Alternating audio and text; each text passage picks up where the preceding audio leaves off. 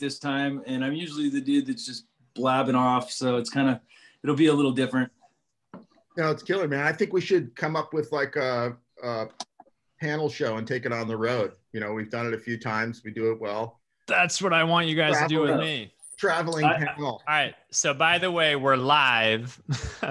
so uh, welcome everyone. Let me uh, pop out the chat so I can uh, see what's going on. But uh, anyway, that's what we're talking about.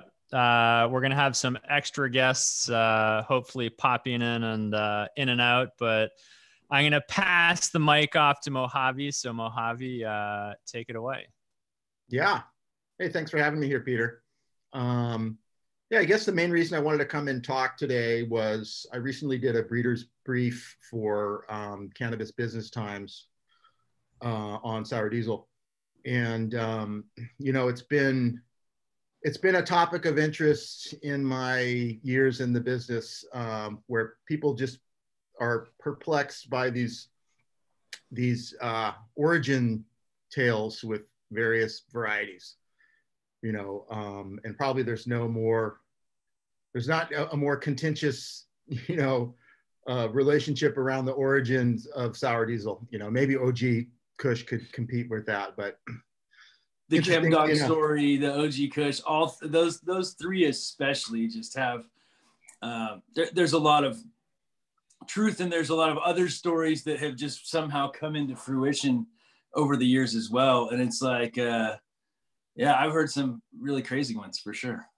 Yeah, you know, I mean, and, and the thing is that everyone when uh, when a cultivar has been around for as long as these have, everyone has their version because they've had a relationship with it for so long that you know they've been, you know, you, you'll hear all over the internet guys are saying like, this is why it's called ocean grown. It's because you know back yeah. in 2001, I've been doing this for 19 years. You know, it's like, all right, we'll take it back. What about 1996? What about 1992? What about 1989? You know, how far does your your story go back to where you can give it credibility. Well, and these varieties are such game changers in the industry. Eh, you know, as far as cannabis history, they changed the game on so many levels that, of course, there's going to be this mystique and this mystery behind them. And I think there was a lot of people we didn't want to give our strains out back then. It wasn't like we were sharing cultivars with people we didn't know. You really had to know somebody to get them and or or steal them from people you know there's been crazy stories about that. And so everything because you know because it was also illegal there was like uh you know it was a whole different world back then. Yeah totally. And careers have been made off of that. I mean you you see specifically og you know people who got og in their hands early and were able to capitalize off that and were really able to build a career either as a, a, a flower brand or as a breeder or whatever. It was like getting that backbone to your your genetic library was was critical.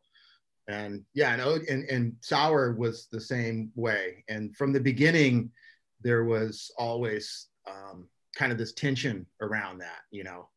Um, and i met these guys in amsterdam in i think it was late 93 early 94 might have even been before they developed sour. I'm not really sure. I, I i'd be stoked if they could someone could jump online and validate that. But um but I met him in Amsterdam, and when you know they brought over a little sample of sour diesel, it was like I was like, whoa, wait a second, you know, we're we're in a sea of of skunk one and northern lights and haze crosses and sour was definitely something different. You know they they had they, they grabbed something really special and and um, they ended up moving to amsterdam at one point and you know i helped them put together one of their grows over there and and we became really good friends. And um, that was before it was a big international you know story. And very few people had the plant and they were just a couple, couple of young guys from new york and it was their story. So there was no reason for them there was no utility in them making up this origin myth at the time. It hadn't really gone viral you know so that, that was my relationship with them. And that's how I knew that, you know, the sour diesel version that I came to understand goes back to around 94 or so. Um, and I think that that kind of correlates with Chem Dog's version of of when he gave out Chem to a couple of other people and how that eventually would become sour. So I think that there's some consensus out there that this is the actual true story. Um, and anyway, so I guess, so as with most modern varieties, they generally come from bag seed and the, the kind of the origin mythology behind that is, is always difficult to tell because, you know, you're always going back, well, what, what, what made that bag seed what made that bag seed? How far back can you go? But um, in terms of how sour diesel was um, developed, it's a really simple story. It's it's Chem Dog flower, and Chem Dog gave gave um, cuttings to a grower in in um, in New York, the Weasel, Weasel with the Diesel, and um, flower. A uh, couple guys, Maxwell and Almanzo, they got flower from uh, from that that Chem Dog batch, and then they developed they they grew out their variety of Chem, which was you know, and then they had uh, a buddy of mine who's on Instagram as Sour Silicate. He got some flower from those two, their grow, and out of that came some seeds, and those were what generated um, what started Sour Diesel. So it's really simple um, there's not a lot of mystery behind that. I guess the, the biggest thing that's always going to last on is like who is the male, who is the pollen donor, where did that come from? And there's all, I mean, there's it's it's like the mass super skunk, it's this, it's blah blah blah. Um, but I don't think anyone really knows, and I don't think anyone will ever be able to know because all those grows had multiple varieties grown in the same room, you know. So yeah, and there's no, I mean, as far as DNA and and being able to test stuff. There's those strains are all long gone as far as what they probably had in there. The mass super skunk that was used. I mean, Sensi lost all their seed stock. Um, so it's not like we can just pop some of those and see if oh maybe that's in there. Yeah. Um, you know, it'd be nice. I wish you know technology came earlier on so we could have some more of this genealogy because there's just so much confusion on what stuff actually is out there. Absolutely, and and um, as far as I know, I think the the the one of the reasons why Super Skunk was a candidate um, was when they were flipping through the Sensi Seeds um, seed bank catalog. If you look at Super Skunk, it does have a little bit of a sour diesel look to it. It's got that little the, the bracts kind of make these little nodes, looks like little. It hundred percent looks like it. Yeah, yeah, it's the, the way the, the calyx stack, it hundred percent looks like it. Matt Riot just actually posted a picture of the, uh, of the actual Sensi catalog with the picture in there. And it's like, yeah, totally. It totally looks like it, but looks don't mean that that's it. You know, it's like, there's so many things that look the same. Yeah, totally. Totally. And the chances are that it does, I mean, so many varieties have common parents and there's so many yeah. recessive traits that it's really hard to know you know um, i mean we know it came from chem and we know chem came from this dog bud this this uh, white whale called dog bud that was coming out of norcal. Um, and so what and, and the big question is what's dog bud right? You're always going to go back let's go back one further. And i do feel that that there was a considerable amount of really good high-end um, flower being produced in Northern California, even indoor towards the late 80s that wasn't Dutch, you know, but there we did have non-Dutch stuff. I mean, that's where skunk came from California and made it to Holland. And then a couple years later, because seeds were being distributed from the Netherlands, then all of a sudden everything was had skunk one in it you know but then there was also the heritage stuff from california that with predates the dutch version of skunk one you know and that goes that goes with all the lines all the northern light crosses everything so we don't really know what dog bud is and i think that there's there's uh, a possibility that there's a common parent between chem diesel and even og kush i mean it, it's it's very possible um, yeah. that that what they called the emerald triangle which is what was the one of the parents for OG was that dog bud or a similar line. Remember in the in the 80s, everyone grew from seed. So the, if you had a, a variety, you didn't have an identical clone. So it was really, did you have some dog bud genetics in there? Or was Emerald Triangle and dog bud from the same lineage? Was it the same grower? Was it, who knows? I mean, things were just passed around. Yeah. Um, but there's definitely something there. I mean, those those are the gassy varieties. That's what brought us that gas, you know, that yeah. working with now. Game changing gas.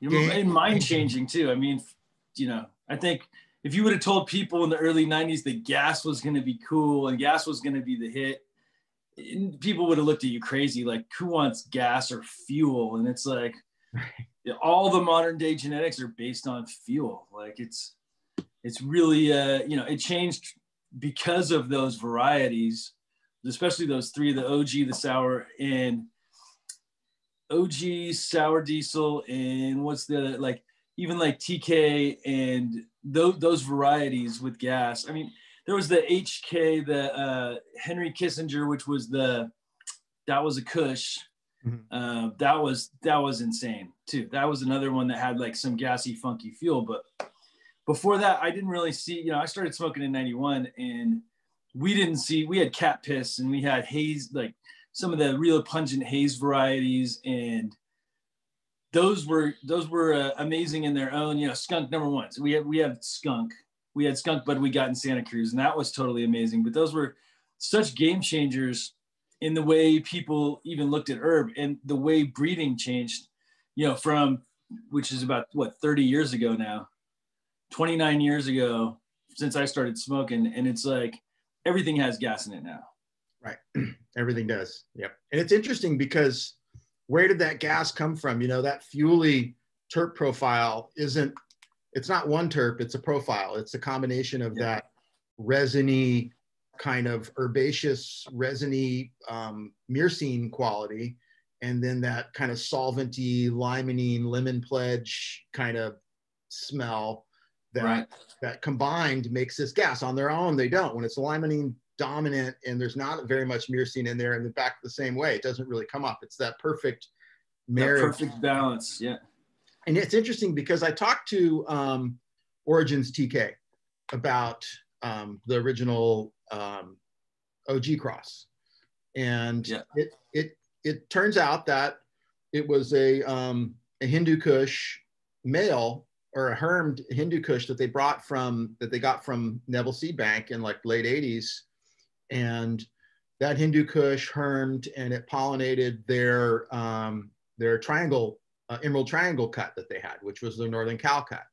Yeah. And the first question I had was like, because I know Hindu Kush, you know, it's it has its Afghani kind of resiny profile, but it doesn't have yeah. that big bouquet. It's not that big push in your face. No, but it had that nose burn to it for sure, where it'd burn your nose because it was so strong. Totally. That's what the Henry Kissinger was, was actually a Hindu Kush. Oh, sweet. Interesting. Yeah. HK. Yeah. HK. Yeah. right. That's cool. So wild. Um, but what, what, what, uh, Origins TK, and I asked him, I said, well, who, where did the, on OG, what contributed more of the aroma profile? Was it the Emerald Triangle cut or was it the Hindu Kush? And he was like, it was definitely the Emerald Triangle. So that NorCal cut was brought what brought that bigger kind of complex bouquet that we associate with Kush. Um, and obviously the, the, the Hindu Kush is just a, a resiny, um, incredibly, you know, um, drippy plant. So it definitely, it took whatever NorCal thing they had and kicked it, kicked up the octane a little bit more. Right.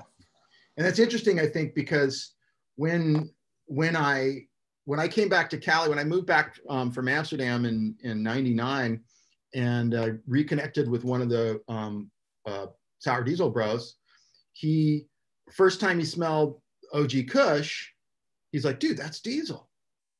It's like, that's, that's that Diesel, man. Where'd you get this? He's like, I've seen this in New York.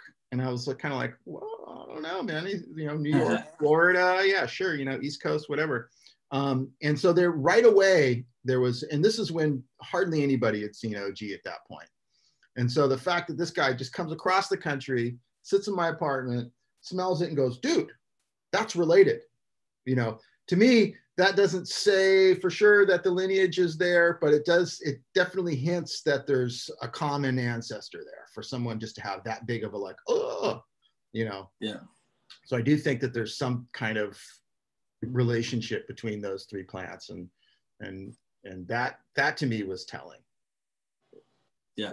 You know, how, how did we get how did we get uh, from how did we get from Dogbud to Chem to sour is pretty clear, you know, and how we got to OG is a little bit less clear. Um, but and whether their relationship is there, whether it came down from New York or or uh, you know East Coast down to Florida.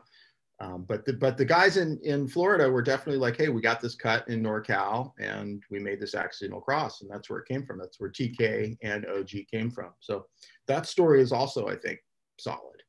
Yeah, for sure. Yeah, and um, anyway, so um, I was hoping that some of some that we could get a little confirmation on some of these these these facts that we now are kind of like massaging out, but um, but to me that's the that's the crux of it that there's that there's no reason why anyone would make up a story and there's that there's no reason why not to believe that it's just a simple version a bag seed version of chem dog. Yeah and you know in in my experience so so we got the cuts in the late 90s of sour diesel and also we got a cut called the dog d-a-w-g not to be confused with the real chem dog which is dog there's been a lot of argument and i'm sure as chem dog it's like it was never d-a-w-g but we were handed a, a cut and they came from oregon. So my partner luke and i had gotten the i had gotten them from him and he had gotten them from oregon along with the trinity and the mm-hmm. four way and a lot of these real popular snow you know, varieties. The snow, the snow, yeah snow yeah. caps the yeah. snow. We had the corn. That was another one that came down from there and uh, so we had these varieties from Oregon. Well, the dog and the sour, and I believe we we now believe that the dog is a bag seed from the chem dog. Well, they grow identical. So this you won't you won't be able to tell until the actually calyx start to stack because the sour diesel goes conical and the dog stays flat, right? Mm. And so the dog actually has the terpene profile of chem dog of like the 91, very similar whereas the sour has more of a lemon sweetness along with the fuel. And uh, there's no real sour in the smell. That's, you know, I think that's probably another good part of the story to share that uh, it just made people sour. Yeah. Well, there's, there's a, that's, that's, it's, and, and uh, real quick, Peter, um, Sour Silicate's trying to get in the Zoom. He says his Zoom link's not working and he, he was, wanted to call in. Do you have a number for him to call in? Let let let me troubleshoot that with him and you guys keep going. Awesome. Uh, okay. Okay. Yeah you know well the the way i remember the story is is you know chem was all the rage. Everyone knew chem was was the shit. And yeah. when when sour silicate um, got some buds or they they put it in a little film container and they labeled it our chem and that was our Chem. And then at some point, someone put a little S in front of our, and right. it became sour Chem. And and he'll tell you, I think that he definitely that there was a flavor component to it, but more and more over time, what sour came to mean was how relationships were soured, and yeah. how it, it brought out greed in people, and this plant became this coveted thing and because of that, it brought out a lot of negative energy and, and people who wanted to capitalize and, and, you know, and that, that I think was part of the reason why the mythology just kept going and going about where it came from is because at that moment it did get sour. And, right. you know, and also at that moment, you know, when, when young kids all of a sudden have something of that value that, you know, it becomes this, this kind of weird precious it's like almost like uh like uh from lord of the rings. Smeagol. yeah exactly. the fucking ah the ring you know? And and there was definitely that. I mean when when they came over to amsterdam there was definitely some people who were showing some interest like whoa what is this that you have here? What Yeah. have you got? You know, because it was different, and that brings out a lot of negative energy. And the same thing with OG. That same thing happened where it's like, if you could get it, you uh, you had it, and then people wanted it. You know, and people would pay money for cuts, and people would make deals, and people would steal cuts or take them. People would call the cops on other people so they get raided so that they could steal their cuts and their business. totally. I mean, it's just yeah, and not just sour diesel, but just in strains in general. People get weird when it comes to money and and greed and ego. The plant, you know, uh, is powerful enough to do crazy stuff too. It's like Well, think about it. You know, I, I, I work with a company now called Breeders Best, and what we do is is plant IP, right? Yeah. And think about sour diesel. Think about all the money generated from that plant over the Yeah. years. I mean, we're, we're probably talking in the bees, in the the billions. Yeah. Yeah, I would say it's in the billions. I think Yeah. so, and and and I think that you know, not that, not that you know, I'm not saying someone should have hoarded genetics and not given out. I think it's great that people share genetics back in the day, and that's why we have all the diversity we have today. But the reality is, somewhere inside, people acknowledge that there's that inherent value, and I had that same experience to to some degree with Sage in Amsterdam. You know, where like all of a sudden you got something new or a better version or a more productive version, and people all of a sudden are like, "Hey, I'll I'll, I'll let me get a cut." And they start offering you money, and and you know, it's it's it's challenging. Um, Yeah. And even if they can't get a cut, they'll knock you off and say they have it and they've bred into it. I mean, there's a lot of seed companies that have sold sour sour diesel, including myself, where we did use the real sour to make the seeds, but I, I feel looking back as it was a big mistake coming from a seed company to call something sour. I call it AJ sour, which is funny because I apologize to AJ, which we can go into that a little bit later. But uh, um, yeah, so in, in around 2012, we released AJ Sour Diesel seeds, and I thought they were a good representation of AJ Sour Diesel, or what I thought to be AJ Sour Diesel at the time. The truth is, is Sour Diesel is meant to be a clone-only strain. Uh, OG Kush is meant to be a clone. Those are clone onlys. Like you, you cannot replicate those in seeds. And even on my Instagram post, there was someone saying that they had Sour Diesel seeds. Well, the, the thing is, I've worked with sour a lot, even breeding, uh, you know, with pollen using it, it doesn't self well. It has herm traits. Basically, you have uh, those those genes on both sides, so that when you self it, it causes intersexual traits. So it's it's a huge problem with that. And you know, I have people coming up on my post saying I have cat piss seeds, all these things all the time, and it's like, well, you have seeds maybe made from cat piss. But if you were to market those, you should probably call them something else. And I think that was one of the biggest mistakes in Amsterdam is they wanted to basically have everything available in seed form, even though it wasn't the same thing. Right. Big time. Yeah, that's um that's it, it uh you know, like when we're talking about the lineage, um, it always comes back to who's your daddy, right? Yeah. And that's the case with a lot with a lot of cannabis varieties because there was very few true breeding males that were used for a lot of the Dutch stuff. So there's a common, often a common um, parent. Um, right, but white sour- widow. Yeah, thank you. Exactly. But um, with with sour, we know it it it's it tend it has an intersex tendency. So it's always been like we don't know what the pollen donor was, but we do know sour diesel always puts off its own male flower. So there's a high likelihood that sour diesel could just be Chem times Chem. yeah. It could be And that would be my yeah, honest guess is that it's Chem times chem, Mhm. just because that dog bud is so identical. But you know, it's like, and I have experience from growing those side by side, and it's like there's no doubt that those are almost the identical genetics. You know what I mean? They they look like brothers or sisters, not brothers, but they look like sisters. And uh, you know, I I would guess that that's the case, but we'll we'll never know. And it really, you know, it doesn't matter. It's a great topic to talk about, but. uh you know these genetics have come so far and they're bred into so many things it's just if you look at the lineage i mean i think i read something maybe three or four years ago that said chemdog was in like a 90 plus percent of all the things tested Yeah. so you know and it's like it makes perfect sense because everybody wants that that gem That's right. And then if you get into um, headband, Yeah. When we start that into the mix, then you start realizing like, wow, everything really is based from this lineage.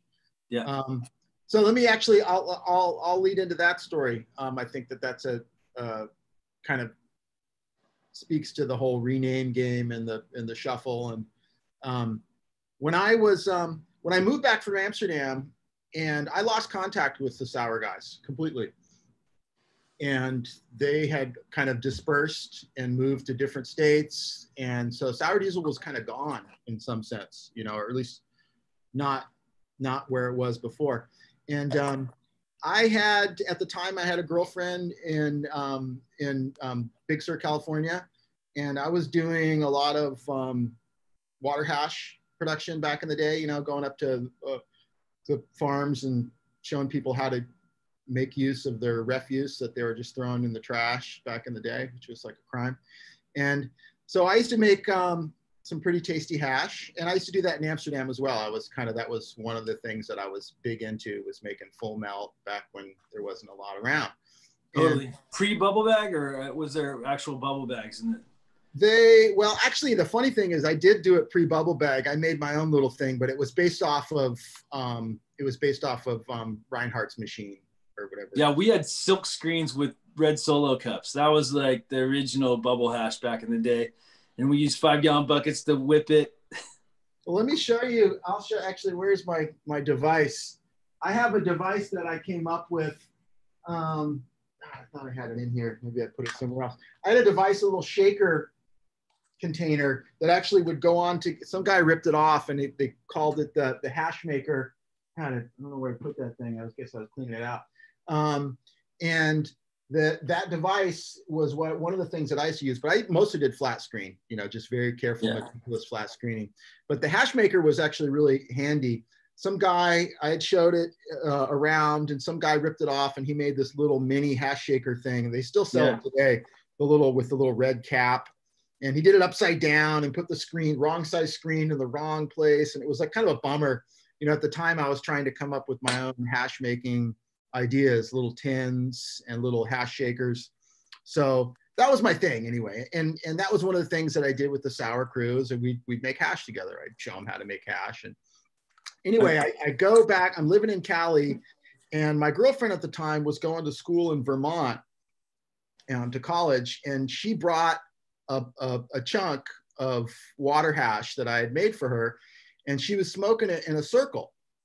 And someone in that circle is like, whoa, I haven't seen full melt like that in like a while since like back in back in Amsterdam. This guy named Mo, and she's like, uh, yeah, that's uh, that's my boyfriend, and and and that that guy, I can't remember who that was. I think it might have been Almanzo. I'm not sure, um, but anyway, he reconnected me with with Sour Silicate, who's the original guy who popped the bean and that was a weird connection right and then all of a sudden we're like back in it and they're up in in in um, mendocino glass blowing and growing and i got back into you know we started hanging out again so i'd go up there and hang out and at the time i was developing some new varieties for the medical market here in california and um, and anyway so when when i got connected with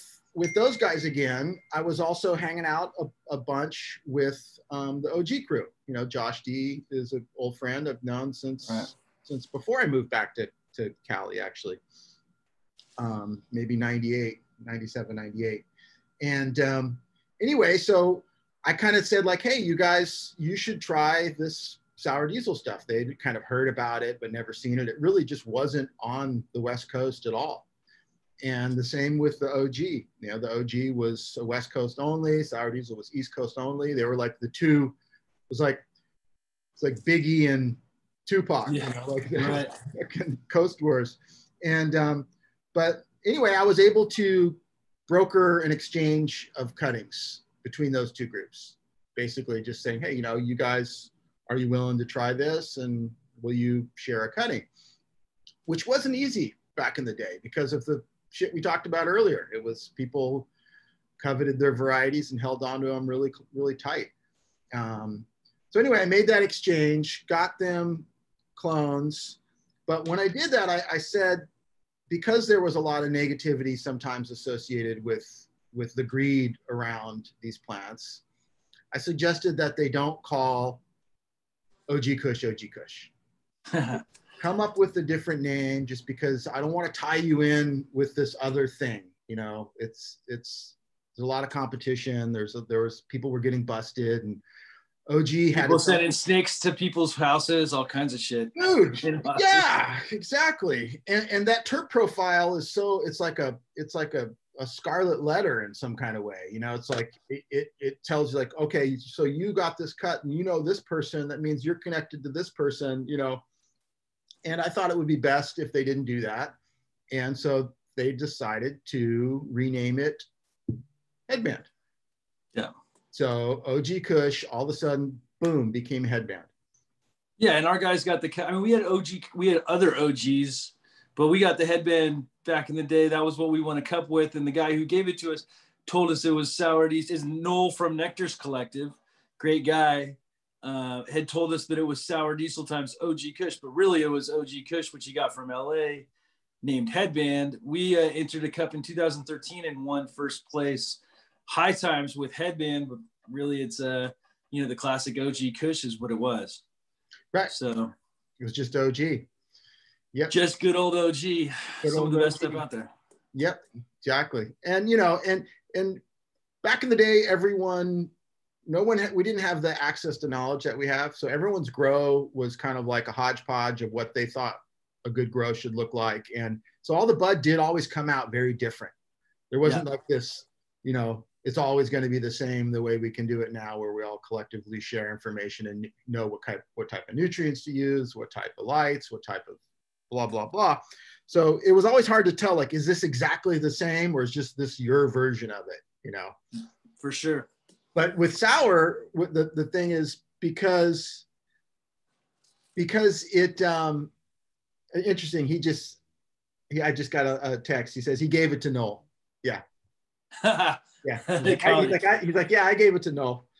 Um, and um, anyway, but with sours, you've got you've got um, sour diesel and OG Kush being grown in the same grow room and being sold as headband. Sometimes sour was headband, sometimes OG was headband, and then you know you've got beans coming out because sour always throws off male flowers. Yeah. And then you got people popping beans from those flowers that they're calling headband so at, at, some point you actually started seeing plants that were a cross of sour and OG sure. labeled headband. Yeah, I mean, even DNA, they made a real sour times OG that I feel like was a yeah that that not necessarily a headband, but that was an OG sour. There's been a bunch of headbands that are definitely somewhere in the middle of OG Kush and sour diesel, but the real one that I know is an OG Kush.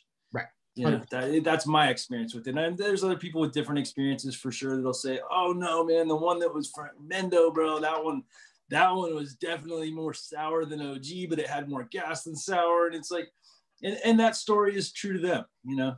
Right, and and it's a and it's uh, it, it it's also goes back to who grow it and how how you grew it and whether it was indoors or outdoors and and all the above and yeah yeah totally. So, yeah, so so it's a rename game. It's the classic rename, the reshuffle, the you know the coveted clone only. It's all all those stories are tied up into that that little relationship. And there was a headband. I mean, I do believe that at one point they weren't just saying that you know it's a descriptive of the high. You know, when you get a high and you get that tight scalp feeling and it feels like a rubber band yeah. going up your head. But I, I'm pretty sure at some point there was a variety back in the day that was at least being sold as headband.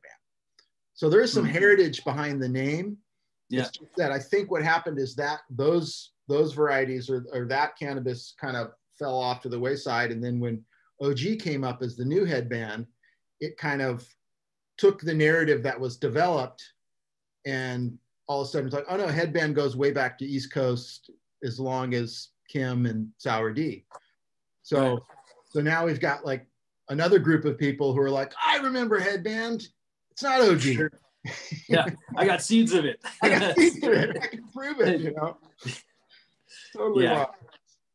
you know, but um, and and I've seen some people get pretty pissed off about this stuff, you know, who have developed kind of brands around these varieties where yeah. they, they have a lot invested in the truth, you know. Yeah, their version. invested in their truth, you know. Yeah. Um, but yeah, you've done a lot of stuff with sour over the years, right? You've done you've been. Oh yeah, I mean we back crossed it. So we were doing we were trying to do an out cross at one point, uh, back crossing it. You know, this we had a sour times the original loud, which kind of you know started loud seeds was uh, spicy jack on the sour diesel. Uh, the F2 is the original loud and that was it wasn't Jackie. You think uh, anything Jack is going to come out Jack? Well, no, those F2s came out pungent and sticky, and uh, the the terp profile was like sour diesel with a extra pungent back on it, mm-hmm. and mm. uh, you know the structure was similar, but it was a little tighter. It finished. Problem with sour, so sour is a typically I would say sour is a 12 week varietal. So I think 12 weeks is optimal. Uh, a lot of my friends pulled it in 10. Uh, outdoors, little little different. It finishes when it finishes, depending on the environment. Like Cazadero, uh, you know that that's where I feel like the best sours were grown in Sonoma. At least was in Cazadero because it's banana belt. It was like the perfect environment for it to grow in. Right. So, but yeah. So as far as what we've done, we back crossed it. We've I tried to make seeds of it through generations by crossing it with different things and to get that perfect sour seed. But it's one of those things that doesn't come out. Yeah, Karma also he has like BX threes now, and I think he's working on BX fives of his uh, sour BX. But it's not sour diesel; it's a sour BX that's breeding towards that sour, mm-hmm. and it's mm-hmm. absolutely amazing. I mean, I've seen some of the bud from it, and it's like, fuck, dude, it's great. But it's not sour diesel, and so that's where I have a problem with people. And I, you know, I'm guilty of it myself, but with people saying they have sour diesel seeds you yeah. don't have sour diesel seeds. It's just not the case. Right. Um, and I've bred, you know, the Loudberry that won in 2014, that was a, you know, the original loud, that was basically the, the phenotype of the original loud. And that was more berry terps. It smells like fresh squeezed uh, berries. Like if you were to drink a berry smoothie along with that soury, gassy profile. Uh, Midnight Rider, who's one of my good friends, he's been working that line and uh, he's bred it into some other stuff. I've bred it into other stuff. But yeah, sour's been the basis for where loud seeds came from in the beginning was, you know, I, we wouldn't be here if it wasn't for sour. Um, right. it, and it was just such a game changer for outdoor growers. Uh, late 90s, early 2000s in California, uh, you know, it went from growing like the Mendo varieties to growing sour diesel because of the yield for one thing, but also the quality. It's like these guys would ship them out of state and they were getting four thousand dollars a pound for their outdoor. Mm-hmm. You know, kind of like it is now, right? Yep. Prices going back up. I, I, think that's great for the you know the market too. And uh, the other thing is, is a lot of people don't know what real sour is. There's this big confusion on sour diesel, and people think it's oh well, sour diesel is okay. Well, it's probably because you never seen the real deal.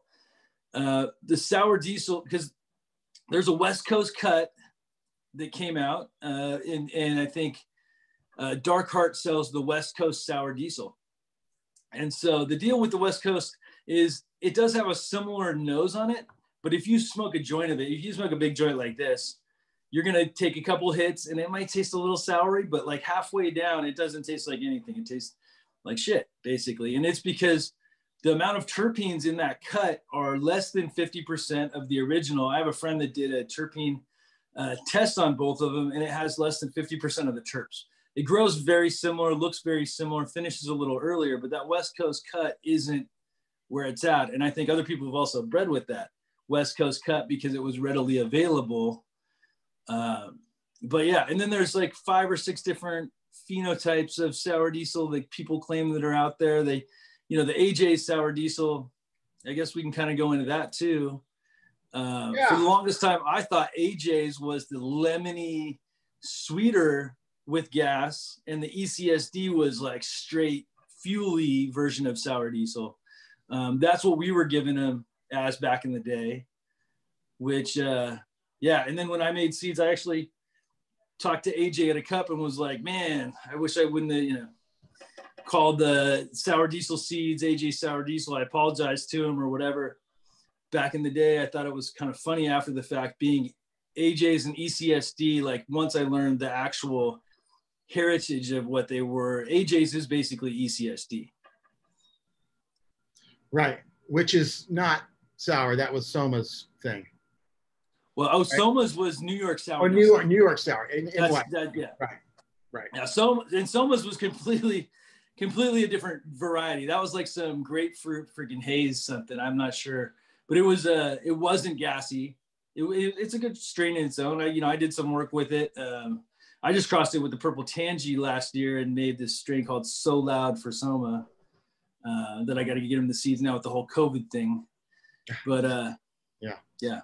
Well, it's interesting because sour is also one of the first varieties to, um, or possibly one of the early varieties to contract HPLVD and spread it around heavily.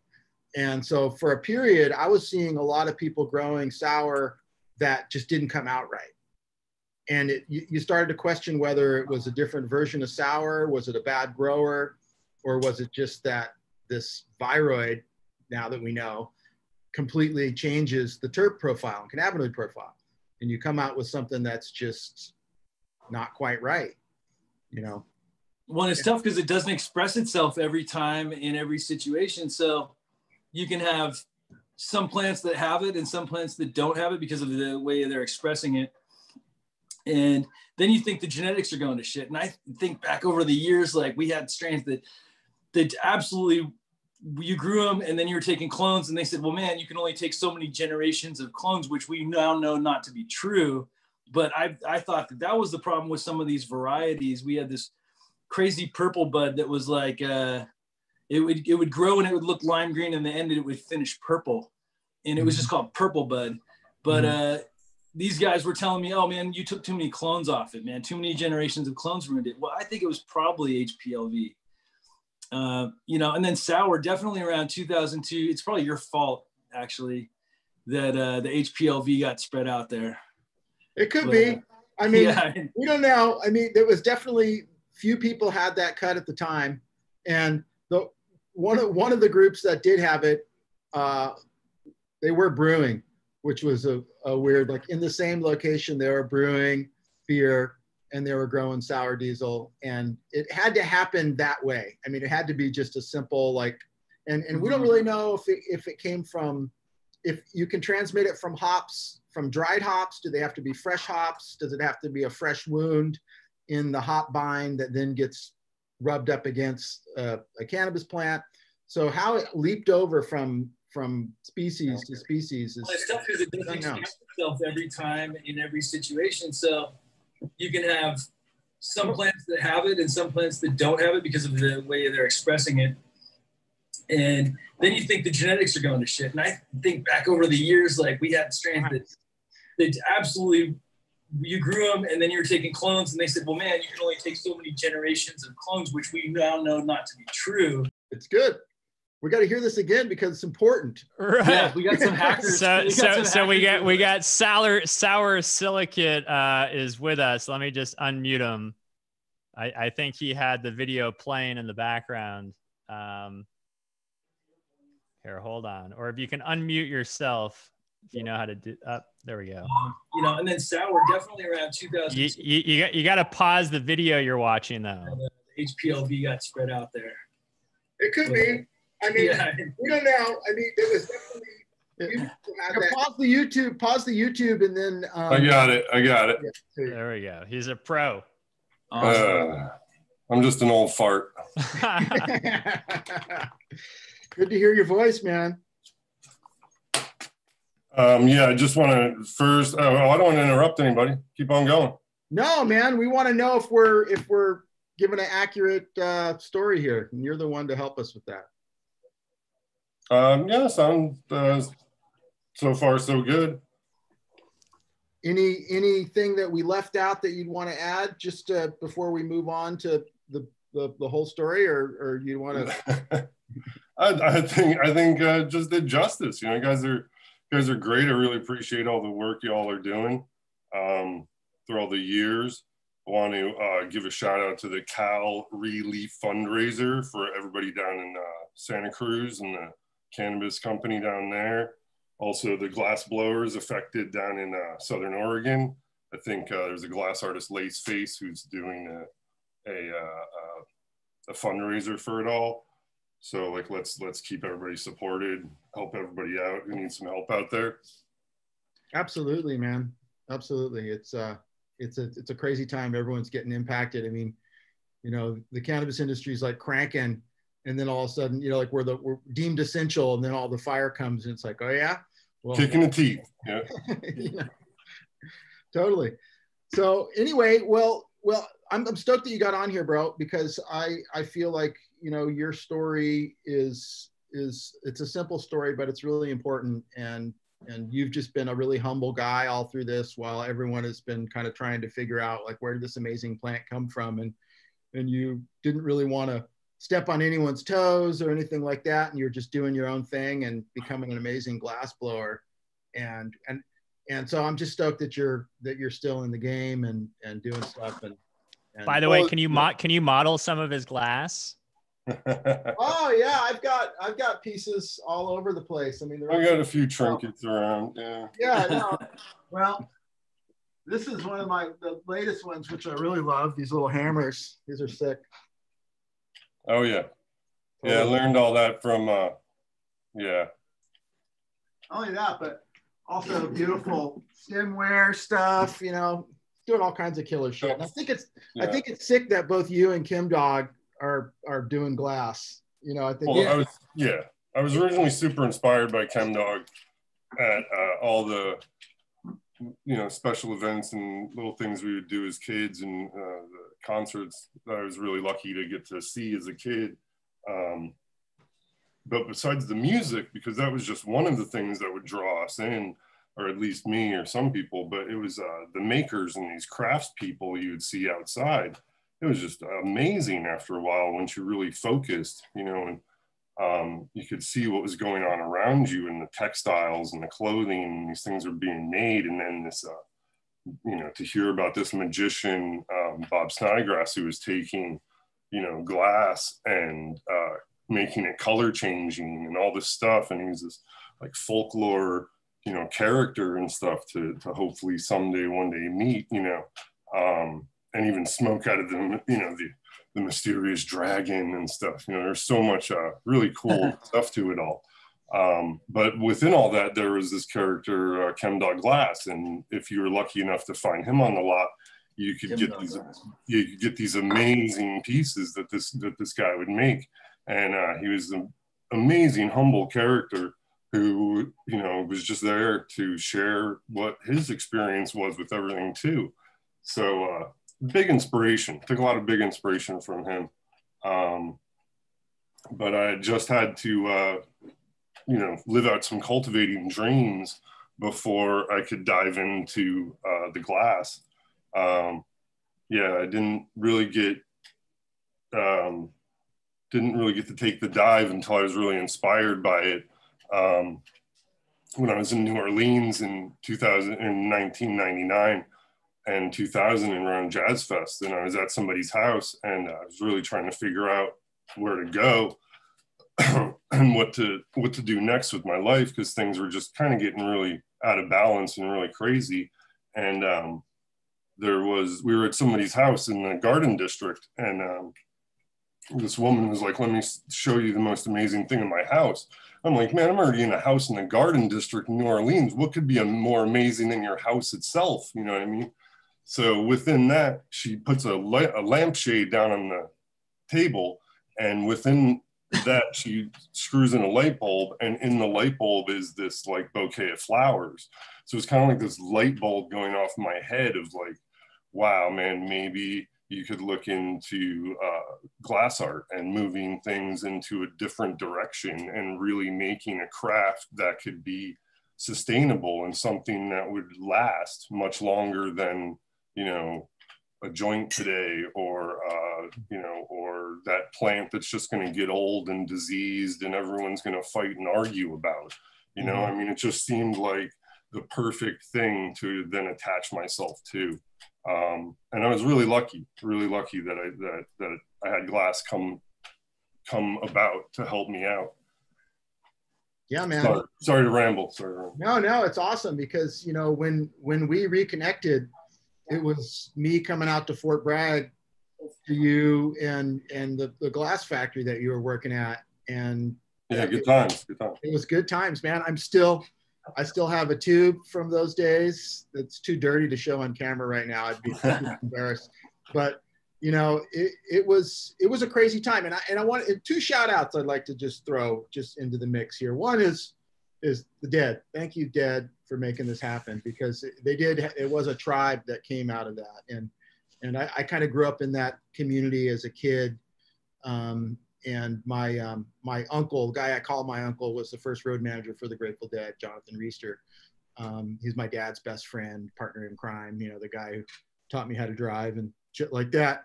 And but I, I was out of that community, you know, uh, by teenager. You know, I wasn't in the in the scene as much. You know, I would go to shows every now and then with my brother and stuff. But but then um, meeting you guys and kind of getting back into that circle. And, and that brings me to the second shout out, which is Adam Dunn. And Adam Dunn, there's, I mean, it, it really, this has all happened because of the CIA. His little cannabis in Amsterdam shop, that's where we met. You know, that's where there was this, you know, as Rob Clark called it, it was the epicenter of the hemp universe or whatever. You know, it was, it was um, just a crazy time. This this moment when it was still so small that if you got connected, you were really connected. That you, it wasn't like, wasn't like fishing through your Instagram or LinkedIn followers thing of you know like all these people. It was like a real small little community, and there was super passionate people. Yeah, super passionate. And then for a while there, there was you know um, at at Adam's place, Jason Harris, um, Jerome Baker had um, a glass blowing shop right next door, or he had actually rented out part of the building. And um, so Jason was over, this is like 96 or 9, no, probably 94, 95 actually.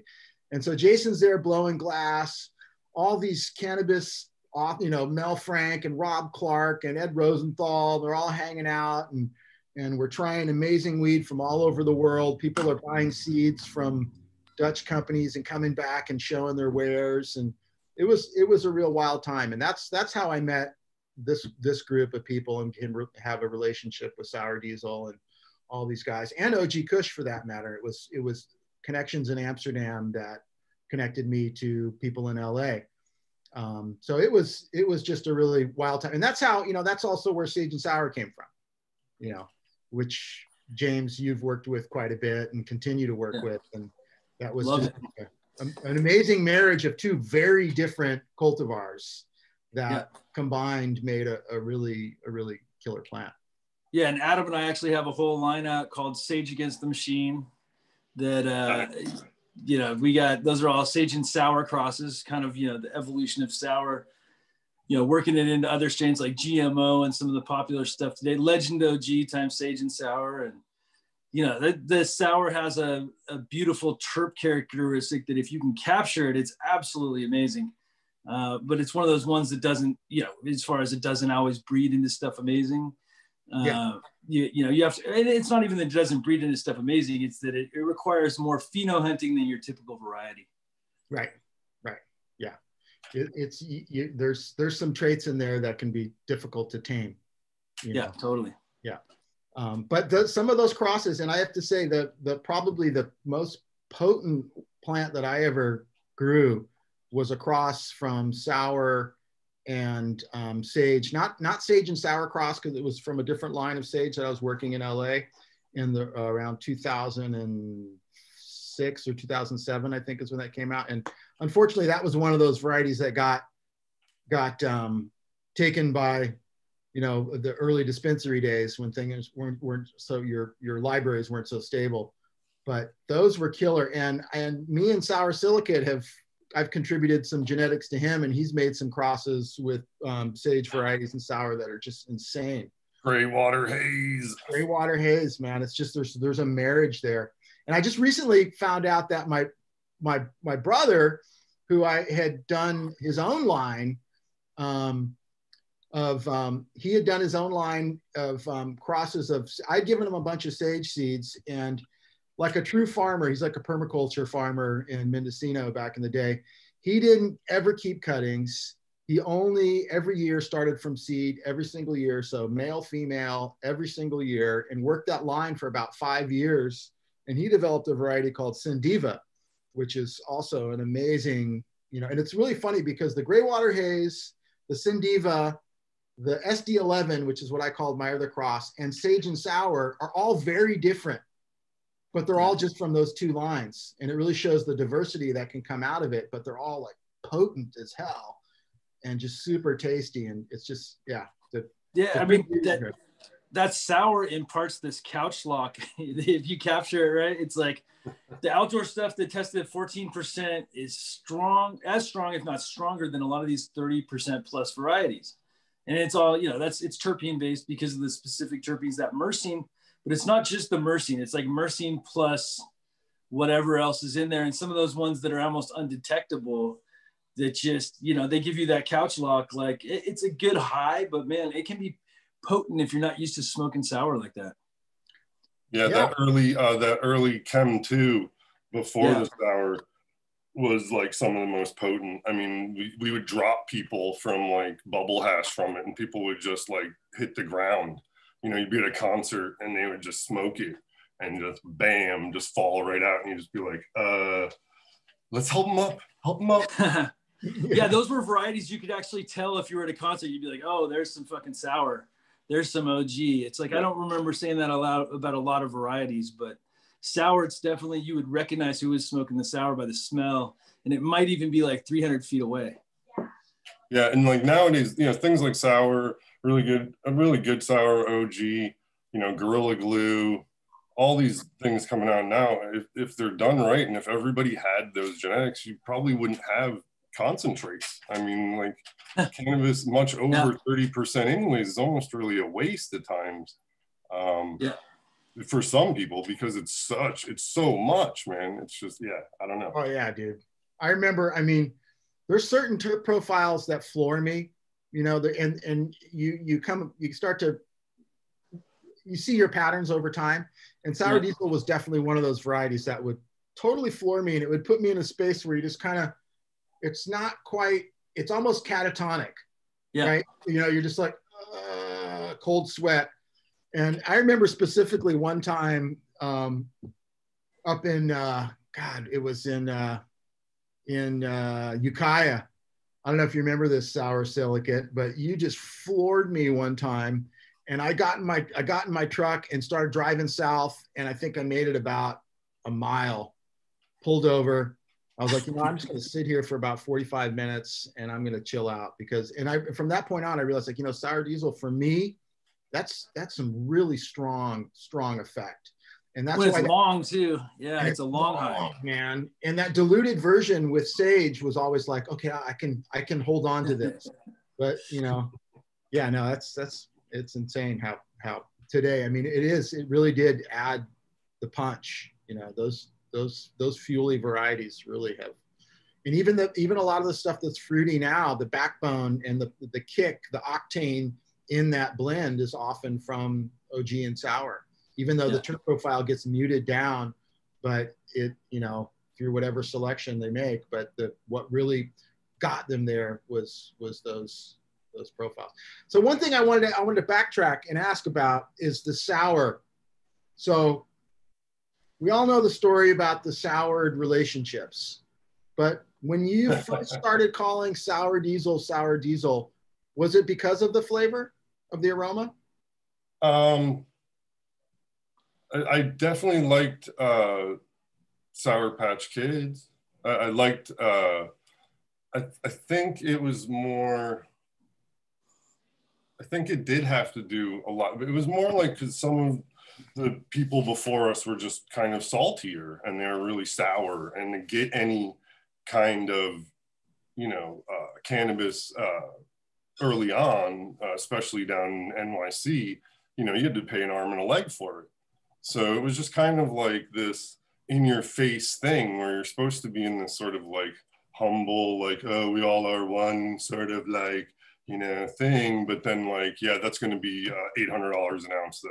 You know, it's just like, what? Like it was just kind of this weird thing. You asked to look at glass or you'd see somebody's glass at a show and like, no, you can't see that, you know, and they just like take it away from you and stuff. And you'd be like, okay, I'm going to go over here. You know, it was just this weird sort of attitude. Maybe that's East Coast. Maybe that's just New York. But it was a really harsh sort of uh, vibe. And that it, it, could be where the sour came from. Mm. You know, um, was definitely something. I just took it. My friend had given me a packet. It was a packet of seeds and they were wrapped up and it said our chem on them. And um, I, at that time, we didn't really talk about things, man. There was actually privacy and people were like really kept things on the low low and stuff. And um, and it was just the way we grew up. It was just the way we you know we are. And um, where we were now, I guess. But um, but then yeah, I saw that in the pack of seeds and there was just five of them. So there was only one that came out of those five the rest of them, you know, were just what they were. So the plant still had to be regenerated. It still had to be cared for after it was harvested. It's still there's so much that went into even the fact that it even survived and stuff that I think is so funny about it all. Um, but uh, yeah, well, you got a picture of that original crop, right? That yeah, yeah, yeah, yeah. You got a little Polaroid of that. Many have used it. Yeah, many have. Yeah, many have used it. But um, you know, and I think I think you guys do have it right a lot of relationships did sour and a lot of people who tried to uh, take the cup or you know um, wanted the cup without the race you know and the run for the roses and all that stuff i think was just more of like they were grabbing for straws because they didn't really have any kind of real reason why except mm-hmm. for you know money this and that but what it was really all about was just freedom and having our own thing you know and our own freedom that's sort of like what the dream was, I guess. I don't know. So, so I got a question for you. Now, there's several phenotypes of sour diesel, like AJ's, ECSD. Uh, I've heard of several other ones, West Coast. Was there only one sour diesel phenotype that you kept, or was there other ones that were given out along with that first uh, sour diesel the, the first one. The first one was given. First one was given in New York City to people in New York City. When yeah. I left, it was given to everybody on the West Coast. Humboldt, yeah. Eugene. I mean, all the same. It's all mine. But it all came from one seed, not yeah. five seeds that were given nope. out. Correct? Nope. Nope. Nope. Nope. One yeah. Seed. So I, I have a feeling those are all bag seeds. All these West Coast and all these things are just possibly bag seeds of the sour that came out similar. Possibly. Uh, or they could have been, yeah. I mean, there's there's other thoughts too, but yeah, I, you know, it's funny because uh, one of my friends had his stuff tested through a company similar to Phylos, and uh, he had they they were all slightly different, the ones that he gave him samples of. So maybe bag seed. I don't know. No, all I know is nobody was calling anything sour before before you know me right. and my, my crew. So it's like yeah, you know, and anything after that is either just variations of it or um, sure someone else's version, which is great. That, that's fine. I'm glad you got something to do. You know, like, like the 707, the 707 headband is an OG Kush. The 707 headband is someone's version of headband. I think. Yeah, it's OG sour. It's OG sour, right? Exactly. Yeah. yeah, yeah. So that was a that was an interesting time too when you first got OG, and that was that was um, you know, kind of the right before you left California. That that it was like your last little gift to the cannabis community. You're like, hey, I'm going to give you guys headband. well, that was from the same. So yeah, it was just it was just another sort of uh, thing. Uh, the New York stuff, uh, you know, that early New York City diesel looked starkingly just like the OG Kush. I mean, it's it's so, it was so close, and that same like hard, like a golf bally sort of structure, you know, was not conical. It was more these like puff balls and stuff. Um, really tight, beautiful, skunky. And it would, yeah, I mean, it would wrap a band around your head and stuff. So, um, so it just sounded, or it just seemed like it would fit, you know, with it all. And then we'd see if it would how much it would stir up, what it would conjure up, you know, with all of that too. Right. It kind of, it's kind of funny because it, it was like a, a a marker in that like if you called it at that point, if you called it headband, I knew exactly where it came from. if you called it OG, I knew definitely an indicator. Yeah, it's definitely an indicator. yeah, it was a total indicator. Yeah, it was crazy. I just realized I just talked chatting with some guy on um, online recently, and um, he told me that he in 2010 won the Emerald Cup with a, a Sage um, sour cross called um, Sour Best Shit Ever (SBSE). Nice. Yeah. Yeah, I remember hearing about that shit. Yeah, I know. I want to try it too, definitely. But I, I was like, man, and I just started making me think. I'm like, that's another sage and sour cross that's different. You know, totally wild. So, um, so anyway, Strangest life I've ever known. what's that? It's the strangest life I've ever known. Yeah, yeah. keeps getting stranger to tell the truth. But you know, it's it's wild that we're all still connected, and you know, I think that Yeah, it, yeah. I think you did it. You did a good service to humanity by not only getting that one seed to germinate, but also being a custodian of that plant for all those those years and helping to put it in other people's hands. Well, and I knew that whatever I chose to do afterwards, if it was going to be glass or, or start a family or do something, I was going to do it with as much passion and intent as I did with uh, when we were cultivating cannabis as, as kids. You know, it was uh, it was a really really great time in my life. I was really around some some really amazing people, and um, and uh, yeah, I was really lucky for that and moving into the next stages with the glass, it was it was just as amazing because I met just as amazing as uh, in many incredible people through that as well.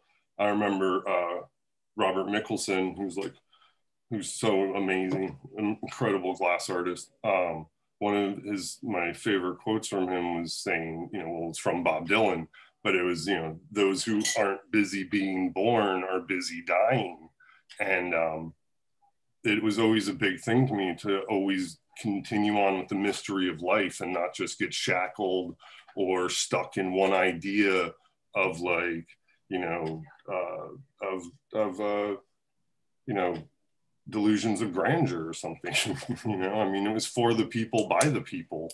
That, that's basically all it was. It was a team of us and something happened you know and it and it and it worked. We're really glad about that. Yeah man synergy. And it, it's wild how big the industry's become you know and and how far these cultivars have gone. I mean I, there's probably a grow room in antarctica right now with some sour diesel in it. And it, it- seriously you know and, it, and it's just and not and also there's a frickin' you know 10 acre grow on some you know millionaire investment group that's you know heavily funded big corporate cannabis that's also growing sour diesel. So it's like it, it, it's really wild how this cottage industry that we were all a part of back in the day has really created this new modern incarnation. And and I don't think it would be the way it is today if it wasn't for efforts like yours in sour diesel and OG Kush and some of these pivotal um, early varieties that we gave them the opportunity to create something bigger.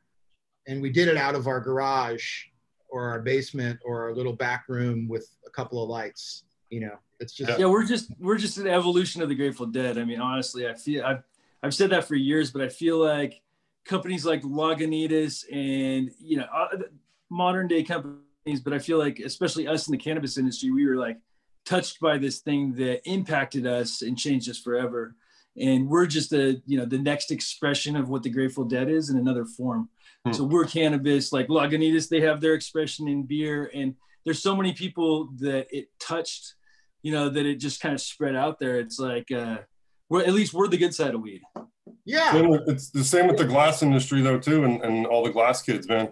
Nobody believed in all the pipe kids in the beginning. It was all a Totally. big struggle, and then bam, look, man, it, it's an incredible thing to be a part of now. You know, and the guys in the '70s knew it then too. They were like, all this is just going to take time, and Yeah. this younger generation is going to get right into this. You know, and and it's it's you know it's one of the greatest things to be a part of myself to be you know in the glass world and and uh, be making stuff and the things that I've learned from people you know I'll never forget I can I can make stuff until I'm like you know until I die now you know it's amazing. I love that analogy James between the, the Grateful Dead and the industry because the Grateful you know the industry's had all our these these developmental challenges as we're becoming adults and we're you know becoming agriculture and science and medicine and all these things.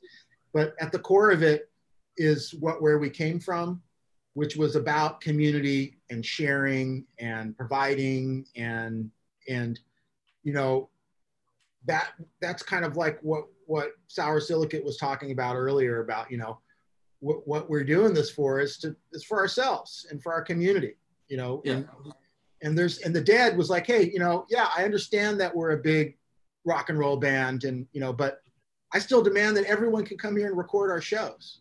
Yeah. You know and imagine what the industry the record labels were just like fucking mind like ah, you know but they're like no we're big enough that we get to make that call you know? And to some degree i think that we've maintained that in the cannabis industry too that we're like no it's corporate cannabis now. Yeah it's big international business but guess what? We're still a community and we're still connected and we're still looking out for each other because yeah. that's what cannabis is about. It's about creating this plant and sharing it with people because the person who creates in it creates it believes in it and sees the power there. And instead of saying wow, I see the power here. I'm going to hold it for myself and capitalize off it and turn it into a commodity and take all the profit. You're, you're almost more driven to share it. It's yeah. like, it's like, it's like a, you know, the loud profile is like, is like, get me out there, share me with the world. It's like, you smell that crop from miles and miles away. Can't hide it, yeah. you know, uh, it's, it's really wild been a long been a, a, long strange trip it's been to be for sure. to so we got a bunch of questions and comments. Um rob says mo more on the emerald triangle strain. Was it an ancestor of tk i thought tk was named after three floridian cities. Yeah that is that was what we all thought at first. It was the triangle between uh, um, Gainesville and Daytona and whatever. No, it, but that that was the eye opener to me. And you know, me and Rob Clarke had written a a um, a piece called "The Curse of Kush" a year a couple years ago, year and a half or so. And what we what we we highlighted in that piece was how Afghani genetics were inherited and certain traits were brought into the modern cannabis gene pool along with it powdery mildew issues and stuff like that you know. And um, and so at the time we and we we drew a core we do we drew some relation to og kush from that hindu kush origin but it wasn't to say it was a direct connection. It was just to say these afghani based plants which og clearly has afghani um, traits in it brought all these other characteristics. And then like a couple weeks later josh d calls me up and he's like dude it is Hindu Kush. I met the guy. Here, you want to come meet him? And he comes up to Cali, you know, the Origins TK, and he tells me the story. And I was totally blown away that the triangle, the word triangle in Triangle Kush came from the Emerald Triangle. That was the cut that they were growing that they called the Emerald Triangle. And that was, uh, they got it direct from NorCal, straight to Florida. And they were blowing that up and they went out looking for some new genetics and they got some Hindu Kush seeds from Nevil Seed Bank in the late 80s, 88, 89. And they were working some of those lines and they hermied and um, pollinated the triangle. And the seeds that came out of that batch of flower would be popped by, that would create the emerald triangle. And it would also create OG, or at the time what they called Supernaut, by a guy, um, Alec Alec, I can't remember his last name. But um, so those were the beans. It was Emerald Triangle. And that is, as far as I know, the story. And yeah, there is the triangle down there, but it just, that's just a, another coincidence.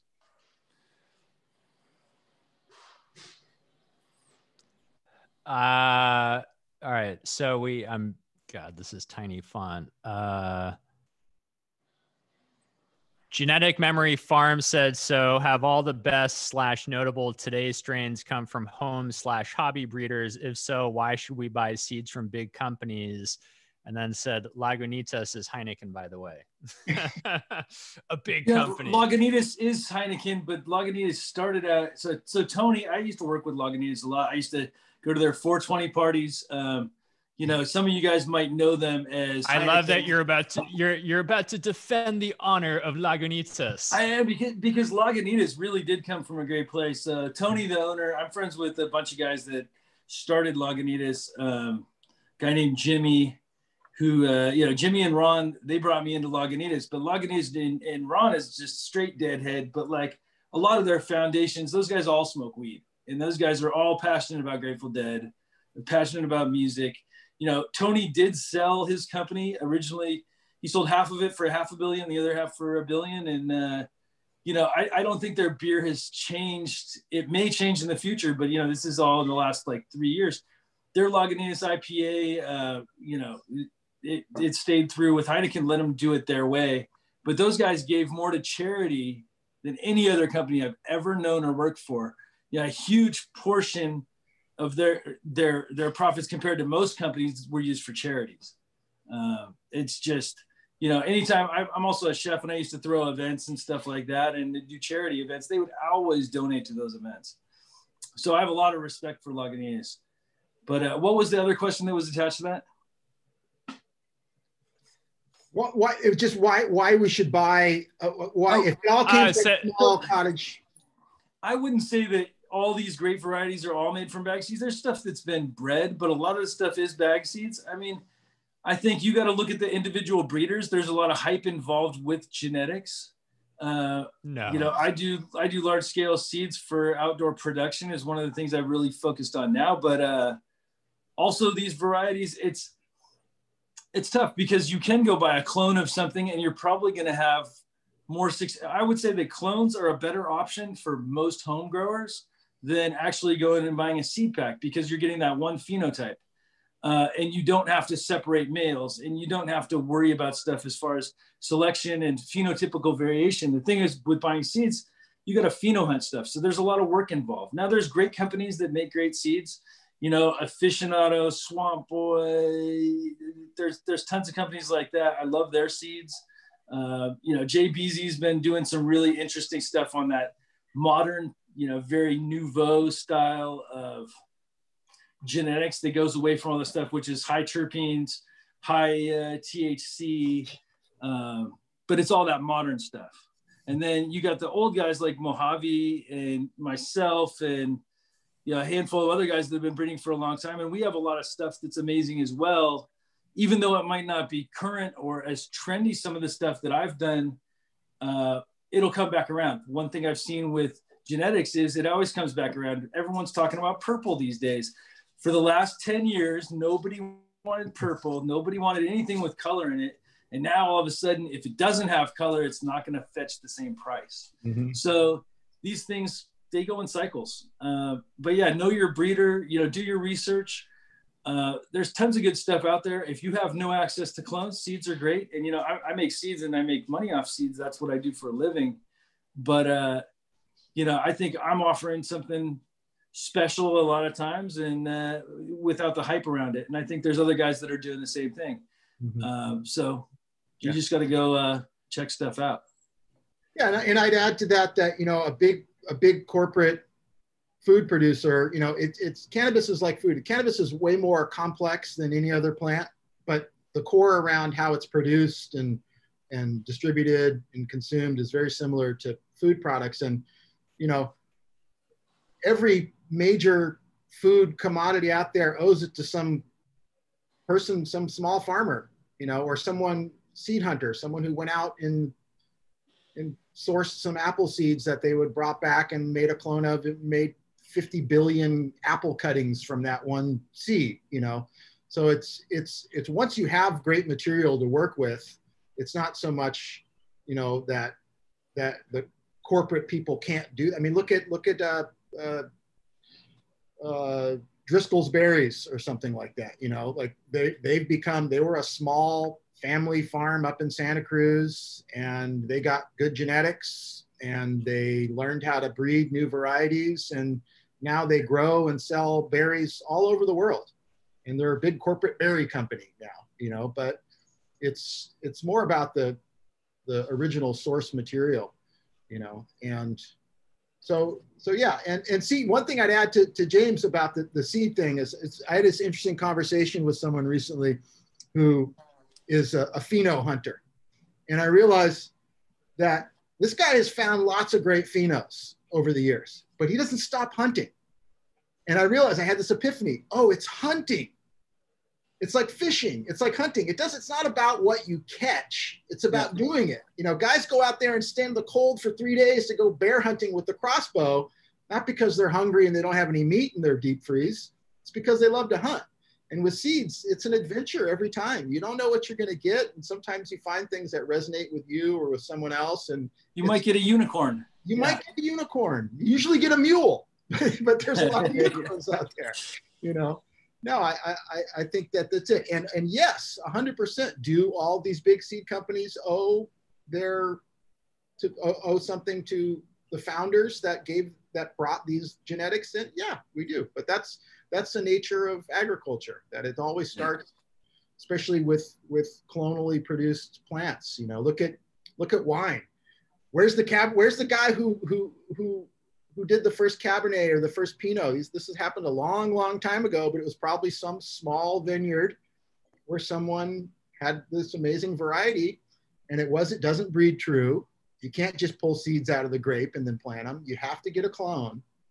And, you know, that's, that's just the way it works. So you can be, but, but at the same time, you know, hey, always try to source from, you know, try to source your food from local, small producing people if possible you know, I do I do think that that's always support your community whenever possible. But there's nothing wrong with there's nothing wrong with corporate cannabis. I don't want to sound like I'm someone who's like against the idea that we've turned this into a big industry because everyone should have access, and it, sometimes it takes bigger distribution capability and stuff like that to provide access.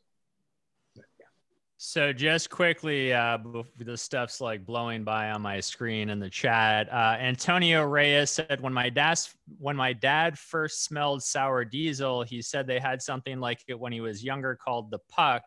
The puck may be related to dog bud." And then Jacob Schwank said, "The puck is skelly hash plant." Hmm. Never heard of it.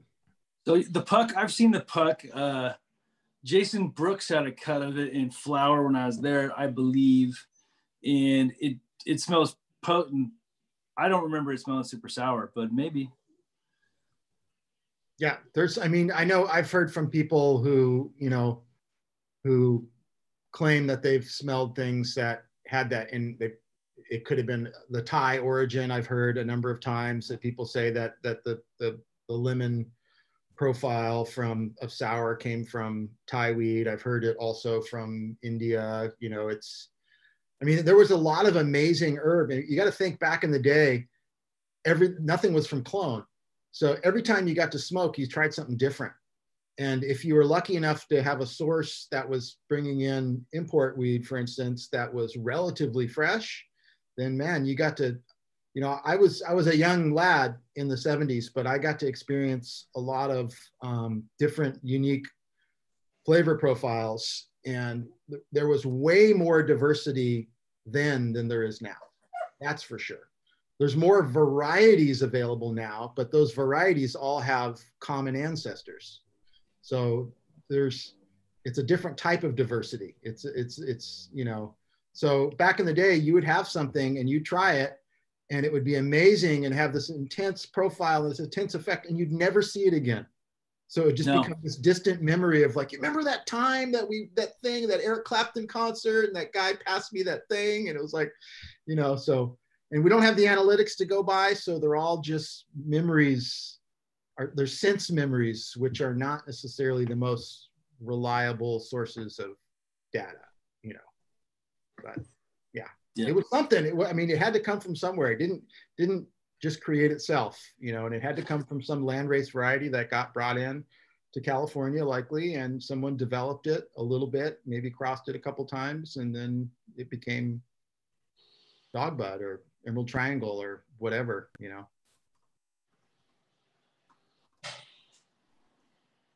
So, all right, hold on. Uh, we got like 650 people watching right now, and the the chat stuff streaming by. So, Fatty Roots uh, asked, "Can you ask more about being able to clone continuously without weakening the genetics, please? So no need for mother plants, or did I misunderstand?" No, you need mother plants, but you can also clone off clones. I feel like uh, plant health is the most important thing, and not having viruses and viroids, you know, definitely helps.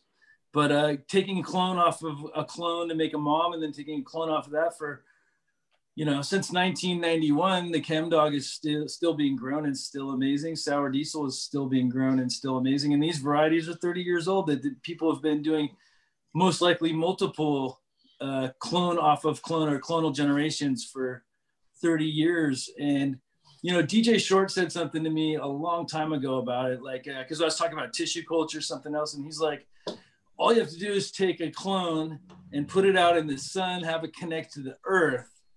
And uh, I thought it was kind of funny at the time, but I, you know, I realized that that summer we had we had definitely taken some stuff out, and by June, some of the varieties that we had were like super healthy. And I'm like, fuck, DJ, he was right. Daniel was right. Yeah. Uh, there's so there's something to do with plant health. I mean, you can say vibration of the earth, all these other things, but at the end of the day, if you can get that new growth, you know, and have it really healthy, you, you're going to continue that the health of that plant for, you know, hundreds of generations potentially. Right. And and conversely, when you create a optimal growing condition for the plant, typically indoors, you also create optimal growing condition for pests and pathogens. Yeah. So they don't go away. They're like, oh, perfect. Oh, you're going to keep me between 72 and 78 degrees and 45 to 65% humidity for year after year after year after year. Whereas you put a plant outside, there's extreme fluctuations in temperature, there's extreme fluctuations in light, there's a lot more air flow, a lot more air movement, and there's possibility of UV, A, B, and C all working to keep the plant going, but also to to kind of say, hey, you have to work to survive. And like a really cold night and a warm day, as we know with tissue culture, that the thermotherapy has a lot to do with reducing the viral load. That you have to stress the virus to the point where it, you've reduced it enough that you can take a cutting off the meristem that has far less of the viroid potential in it so that when you start growing it, you've kind of outgrown and grown away from what's stuck in that vascular system. So the outdoor thing is totally true. And that, I mean, I've heard that from a number of OGs back in the day. It's like, it might even take, I've heard like, hey, it might take three years of having a plant in an outdoor environment to get it back to a point of health. And this is before we knew about hop latent viroid. But what they were saying to me was, you have to put that through all these stressors that you can reduce the viroid because the viroid is trying to capital is trying to take over the plant essentially but it also wants the plant as a host. So it's not trying to kill the plant. That's why it's the latent viroid. It's not, it's not like trying to consume it and be done with it like a lot of other, like, like, like mites, for instance. They're trying to fucking eat that plant until it's gone and you can't possibly survive. So I think there's something there, you know, that, that, um, we got to be careful when we're keeping clones alive. And sour diesel was one of the first. I really do think it was one of the first to show um, completely different um, terpene cannabinoid profile, like where it's just like night and day. Like, dude, how come this crop is just complete shit? Like, what happened? Yeah. You know, completely and dudded out. Completely it loses. Uh, yeah, I mean, it loses basically the resin, the the lipids. Uh, yeah, it ends up being a dry, and the stuff is it, sour diesel is already uh, you know open bud structure, so when you have something that's an open bud structure that starts becoming dry, you know, the, and the terpenes are significantly less and changed, you know, that, that's when a lot of people stop growing it too. Yeah. Yeah. And it's and it's a and it's a 12 week plant, like you say. And nowadays yeah. people are like stuck in this, hey, I've got to get everything done in eight weeks. That's my that's our production model. That we no, no, five is the new eight. People want the five week varieties. it's impossible, you know. Yeah. I've never, I've never had, I've never tried a variety that was under seven weeks that worked for me. I mean, there's Yeah. some of them were chunky and and potent, but nothing that ever had any nuance to it. It's just, you know. Yeah, the Bubba was like a 53 day, and uh, I just I just got a phenotype of this one seed that's been hunted that apparently is a 43 day. But the last time someone gave me a 45 day OG, it finished in 70 days. So Nice, nice. Yeah. There, there was one other thing I wanted to ask um, Sour Silicate about the um, the early days. Um, unless you have another question that you want to throw out there while I'm trying to think, Peter. Well, just while you're looking for it, I asked uh, where everyone's tuning in from, and uh, let me scroll way back up. Uh, Colorado, Vegas, Scotland, Massachusetts, Washington, Germany, Michigan, Texas, Czech Republic, Ireland, Ohio, Oakland, New England. We got some Boston people. I'll be watching the Pats game in a couple hours. Uh, Belgium, bunch of people threw down their area codes denmark indiana maryland trinity i think someone was from uh, the i saw caribbean somewhere um, nice. florida maryland arizona alaska uh, bakersfield fuel house farms bakersfield home of the cows oh yeah guadeloupe uh, french west indies jamaica uh, some red state people who You can mention the red states, aren't, aren't allowed to grab. No, no, no. He just said red state with a sad face. Oh. he didn't say the state.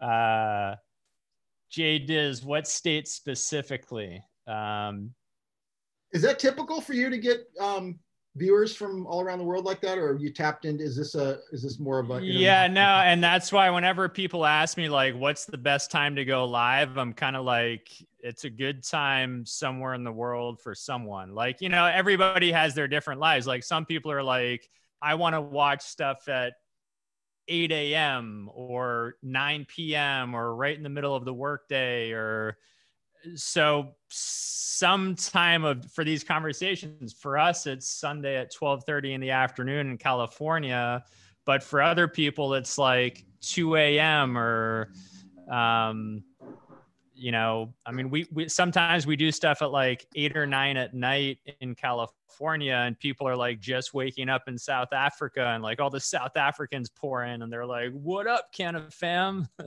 Right on. Awesome. Um, yeah, I forgot what my question was, but I guess um, I guess we pretty much hit most of the topics. Is there anything else you wanted to add, Sour Silicate, to this conversation before we? So it's 5 a.m. in Australia, says Iced Friction. So That's Australia's in the house. Quebec. I played hockey at Laval during the summers in junior high and high school.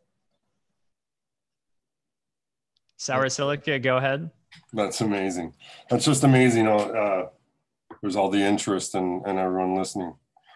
Uh, LSD Locks is in Thailand right now. live long and prosper. Rob S said relationship between dog bud and the Emerald Triangle strain ancestors of Chem Dog? Question mark. Yeah, I, I think we kind of covered that. Uh, we don't know. We don't know if that's that's just. I'm I'm just basing that off of my own experience talking to people from the Kush side and from the sour diesel side. That there, it's just a coincidence that it both stems out of this Northern California cultivar, and it's also a coincidence that the sour diesel guys, with the first time that I would show them Kush, they would go, "That's the diesel. That's the that's the the diesel from back in the New York days."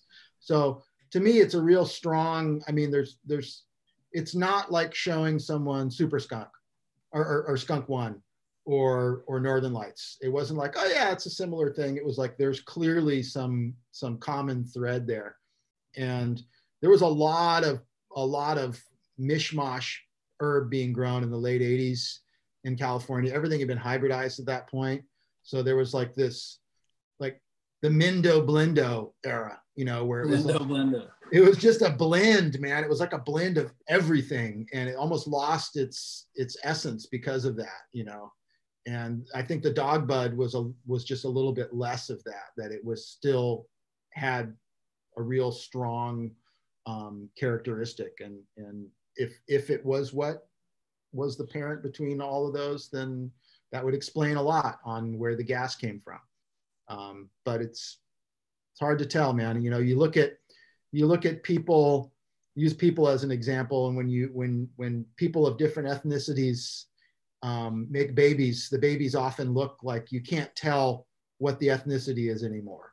You know they, where they look where are you hispanic based or are you southeast asian or are you middle eastern or whatever? Like so there's there's these common these common traits that just carry over and and and we don't know It's funny. My my two daughters are half Chinese, and I must have very strong genes because they both look like spitting images of me. Like they they don't look like they're they There don't look go. Chinese.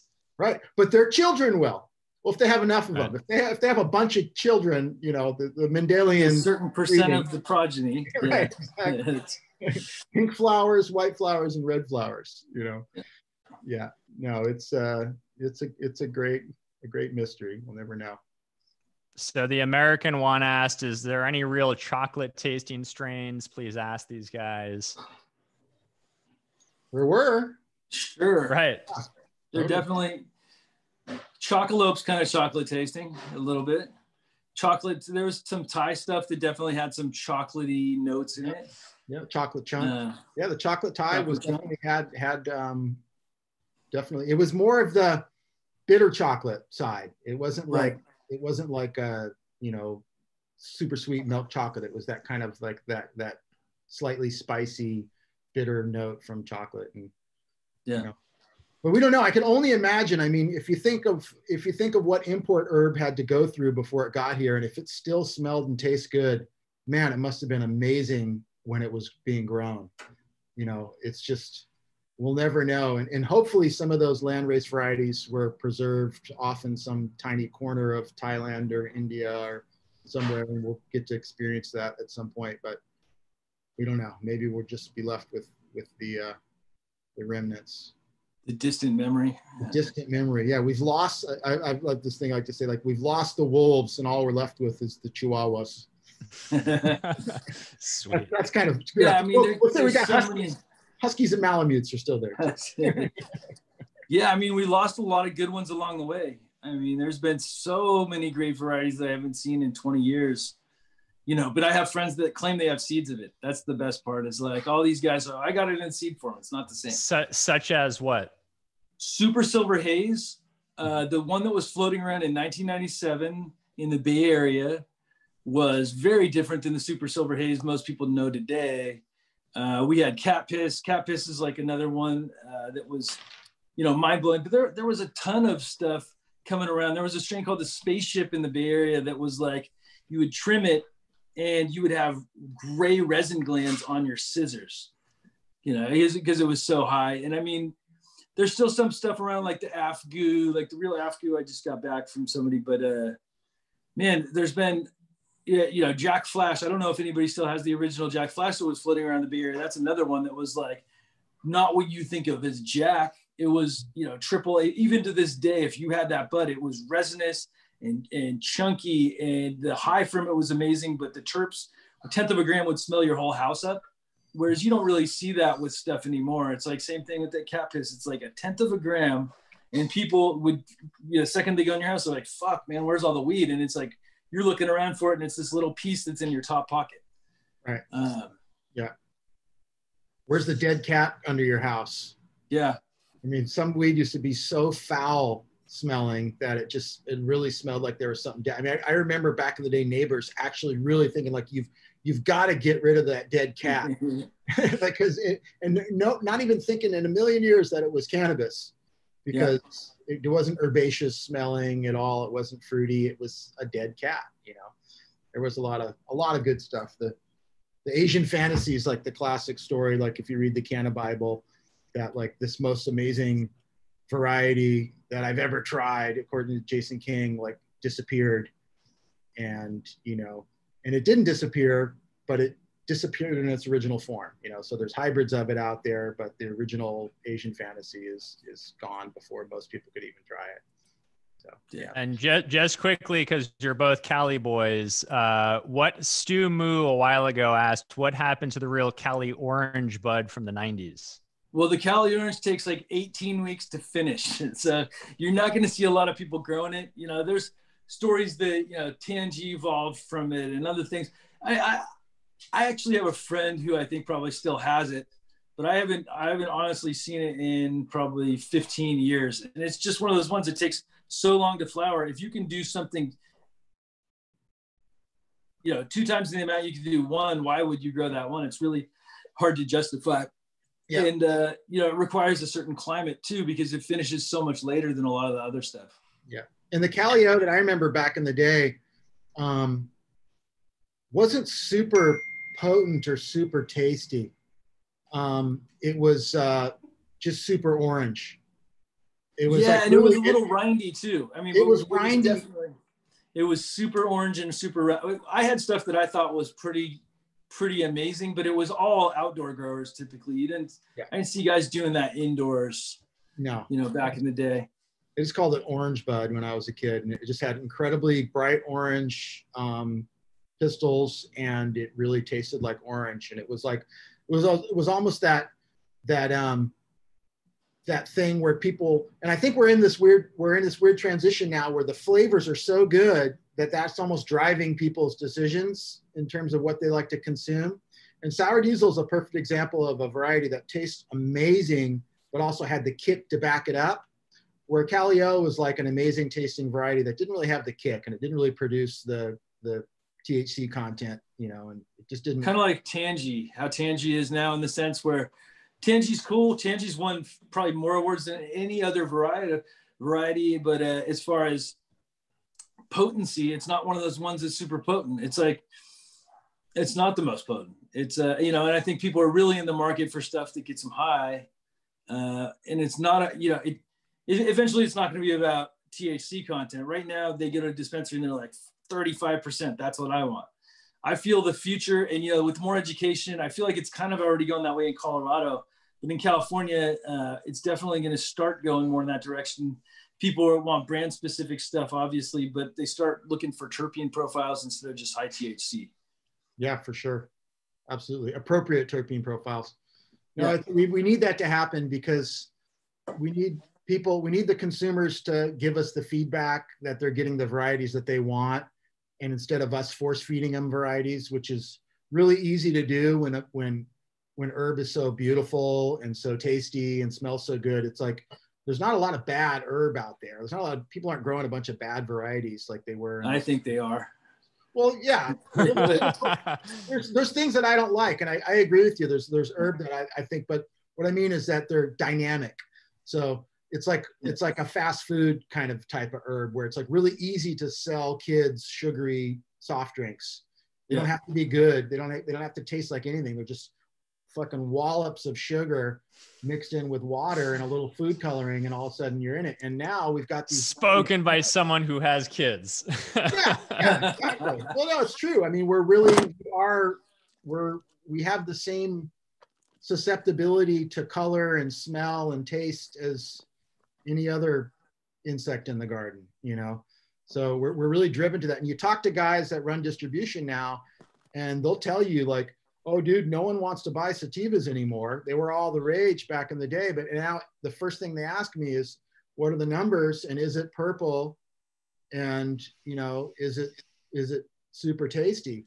So they're not, people aren't really shopping for, they're not trying to pair uh, a, ca- a cannabis profile with whatever their their desired effect is, as much as the distributor is saying, "Look, purple weed sells," you know.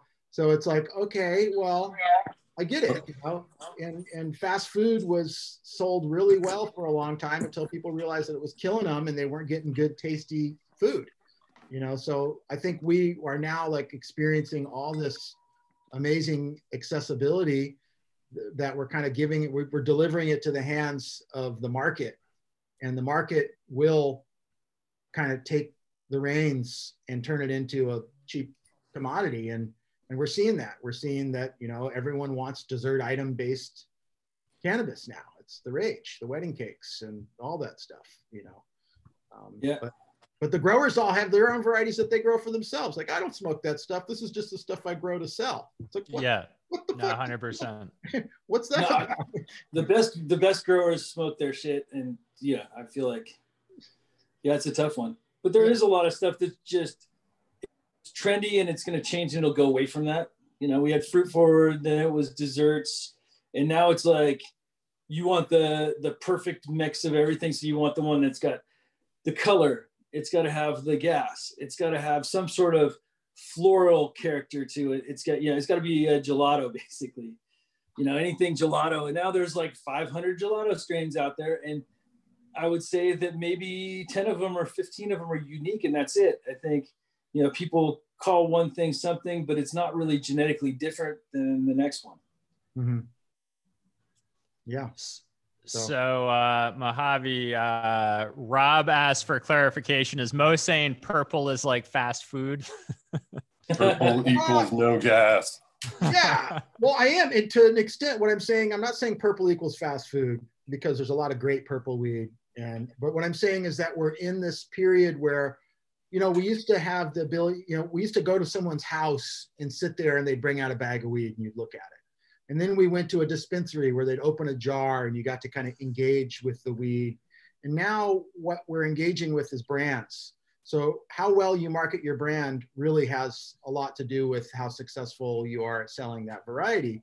And then when when when we've created varieties that smell and taste like like delicious food, we're tapping into other uh, associations that our mind has with other things in our lives.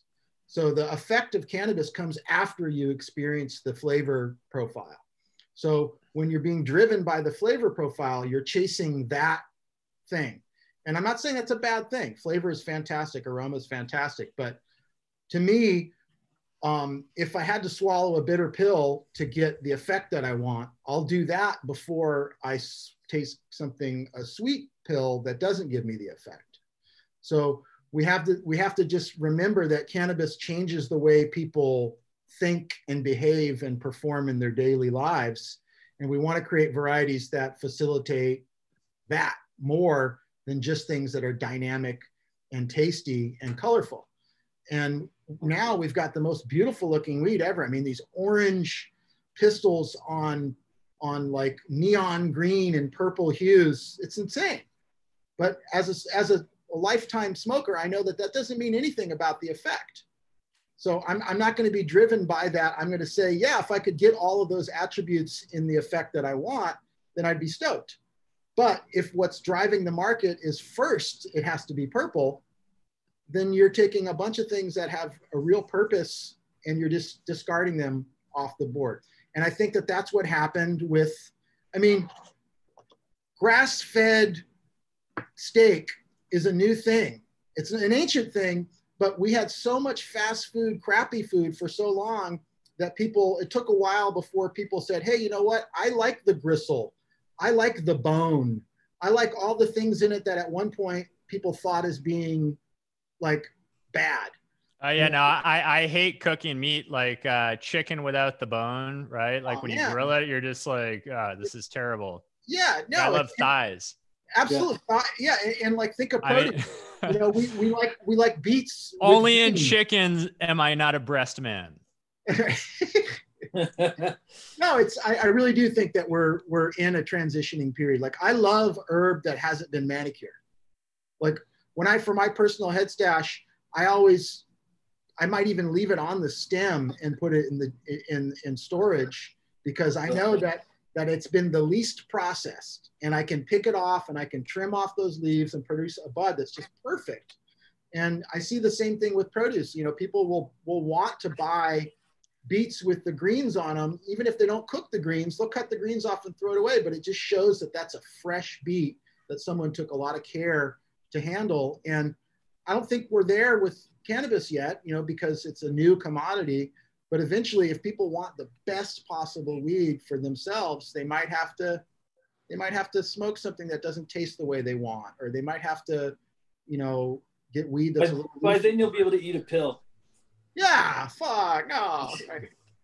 So, so you know, so it's so like- just kind of some of what you guys are talking about uh somnia sativia terra mentioned something that that like lamb's breath uh i don't think it looks great right but like it's it's great flower and i think you know i i know people who uh you know grow ice cream cake and mac for the market and then they smoke lamb's breath right like for their own personal I honestly haven't seen lamb's breath in 20 years, like the real lamb's breath. That's another one that's like uh, Sunny Chiba. He definitely has uh, some lamb's bread crosses that definitely have lamb's bread, but I have yet. I think there was a, you know, not to change the subject too much, but there's a strain called Hassan that uh, Josh Silverback Freeman uh, he created a long time ago, and uh, anyway, so uh, the the original lamb's bread got changed to Hassan in like Northern California. Uh, so they're calling it lamb's bread, but it was actually really Hassan. Now, if somebody has it, man, I'd love to friggin' uh, smoke it with them. Something I've been looking with for a long time to breed with. Yeah, for sure. And the original lamb's bread was was wispy, not chunky, super. I mean, it was Jamaican style, man. It was, you know, totally. Yeah, some of the best bud doesn't necessarily have the best structure. I think there's a lot of great strains that need to be worked more too. Right. Like, you know, that, that was the point I was that was the point I was making for the retail market when people look at what it looks like, you know, it's like it's not very pretty. Yeah, I mean, my number one favorite is cat piss, and that's the ugliest bud I'd ever seen. You know, we'd pay for shreds in a bag, sixty dollars an eighth. You get a whole bunch of shreds. If you didn't know what you're looking at, it didn't really look like bud all the time. It just looked like, you know, what what you would pay, not even smalls, like even worse than that. But it got you so high, and it tasted so good that you would pay sixty dollars an eighth straight up for an ounce. Totally. I love Grinspoon. Grinspoon is like Yeah. awesome. I love these wispy Eldorado and and Oaxacan varieties that like anyone in the market they would laugh at it. They just look Yeah. at it. It would sit on the shelf. No one would even touch it. But the, those who know know that you can't get that effect any other way. You know, and yeah, we should develop varieties. We should take those genetics and turn them into more market-friendly varieties. But at the same time, we should also offer those varieties in their own i mean if you look at the wine compared to the wine model you know people in california back in the day weren't willing to pay a 100 bucks for a 20 year old bottle of wine because we had this central valley jug wine industry that you know we weren't trying to compete with french fine wine. And then when we started competing with french fine wine in the 70s and 80s and 90s we started developing all the different incarnations of what wine could be you know, from really sweet to really um, tannic and oaky and aged wine and dessert wine and all these different types that that there wasn't a market for before. But once the connoisseurs came and they realized, like, dude, I can't get this any other way, then the market evolved. And I think that we'll we'll see that that that same evolution and and you know new varieties will come ain't ones that have been historically proven like sour diesel will still maintain you know like they're sometimes you just get a lucky a lucky pick and the one seed that the dude pops becomes the thing that lasts for potentially ever you know I, i'm sure we're, we're still eat, we're eating tomatoes and heirloom Okay. varieties that have So so on that point, a long time ago, Organic Pot said, "What's the best thing to do when you find that unicorn?" Grow it, grow a lot of it. Yeah. right. Blow it and share it with Make your a lot of babies. Yeah share call call me. yeah, well, there's there's there's uh there's Dungeness Genetics and then uh, Doc and Yeti Farms in Washington that's uh, putting out uh, Swamp Thing and Hot Rod, and it's dead ringers for OG Kush. I mean, it, they work. It smells. It's the exact same thing. It's just they're not shackling themselves to you know these names or this like the past. But literally, you open the container up and you're floored because the pieces are there and the stuff is there. So look up Dungeness Genetics. They're phenomenal product, man. Yeah, there's a ton of lines that need to be worked. I mean, Skittles is amazing in its own right, and it looks like shit. It doesn't grow that well, but I feel like the more it's worked, you, you can work that terp profile into something that's amazing. Yeah, so, Swamp Thing Hot Rod. Check it out. That stuff is nice. real good. Hot Rod, is that Dungeon Vault Genetics? Yeah. Yeah, I know Eric pretty well. He's a good dude. Uh, crushing it. The stuff is, yeah, it's good times. Yeah. Yeah, we do booths together in uh, Barcelona every year at Spannabis. Yeah, and all these Gorilla Glues too. The Gorilla Glue has really come through as something consistent. There's uh, Gorilla Breath now. There's like, you know, some other things out there where people are playing with it and it, it's it's true. It, it comes through, it delivers every time you know? Yeah you know gorilla glue was such a big game changer. It's actually part of the sour story beyond it just you know having uh, the genetics coming into it. It basically uh, sour diesel especially in sonoma county with the friends in the circle that i had they were growing tons and tons of sour for for 12 years. And then all of a sudden comes gorilla glue and they were able to get a similar price for gorilla glue. It finishes sooner and it yields just as well. And it also has a better bud structure. So I feel like it cures out a little bit easier uh, for for maintaining quality. Uh, yeah, so dungeon, yeah, really, yeah. really was the evolution kind of in the in NorCal, at least uh, Sonoma and Mendocino that were pre- predominantly sour growers. So you don't see as much sour going around. I mean, there's some old timers. Uh, I got friends that grow it. My friend Josh Freeman grows next level sour diesel. He's another one. We save the buds in jars, and as we uh, need them, we take them out of the freezer, trim a little bit of the leaf off, and it's ready to go. Someone said a dungeon vault. No, I just want to get that them right. Dungeon vault genetics. That's yeah. what it is. Yeah. Dungeon vault. Yep, Eric from Dungeon Vault. Yeah, it, yeah, yeah. It was like a. It, it's a, a, easier to process plant as well. You know, sour diesel yeah. can be a little bit tough to trim. Um, oh yeah, and if it's in the slightly wrong conditions, it'll get real larfy. It'll leaf out you know, I, I, grew it in an octagon one time with some chems and uh, octagon systems are these vertical grows that have four tiers and there's 13 plants on each row and they grow towards a vertical light rather than a horizontal light. And uh, it turns out that the best strain for growing there was GDP because it takes so long to veg, it doesn't grow out. Whereas like sour and chem, they tend to double in flower. So I ended up with a wall of larf that just stretched out, you know all around the garage. It was we had four octagons that were just all this you know larf walls. Larf walls. to continue the dead analogies. right.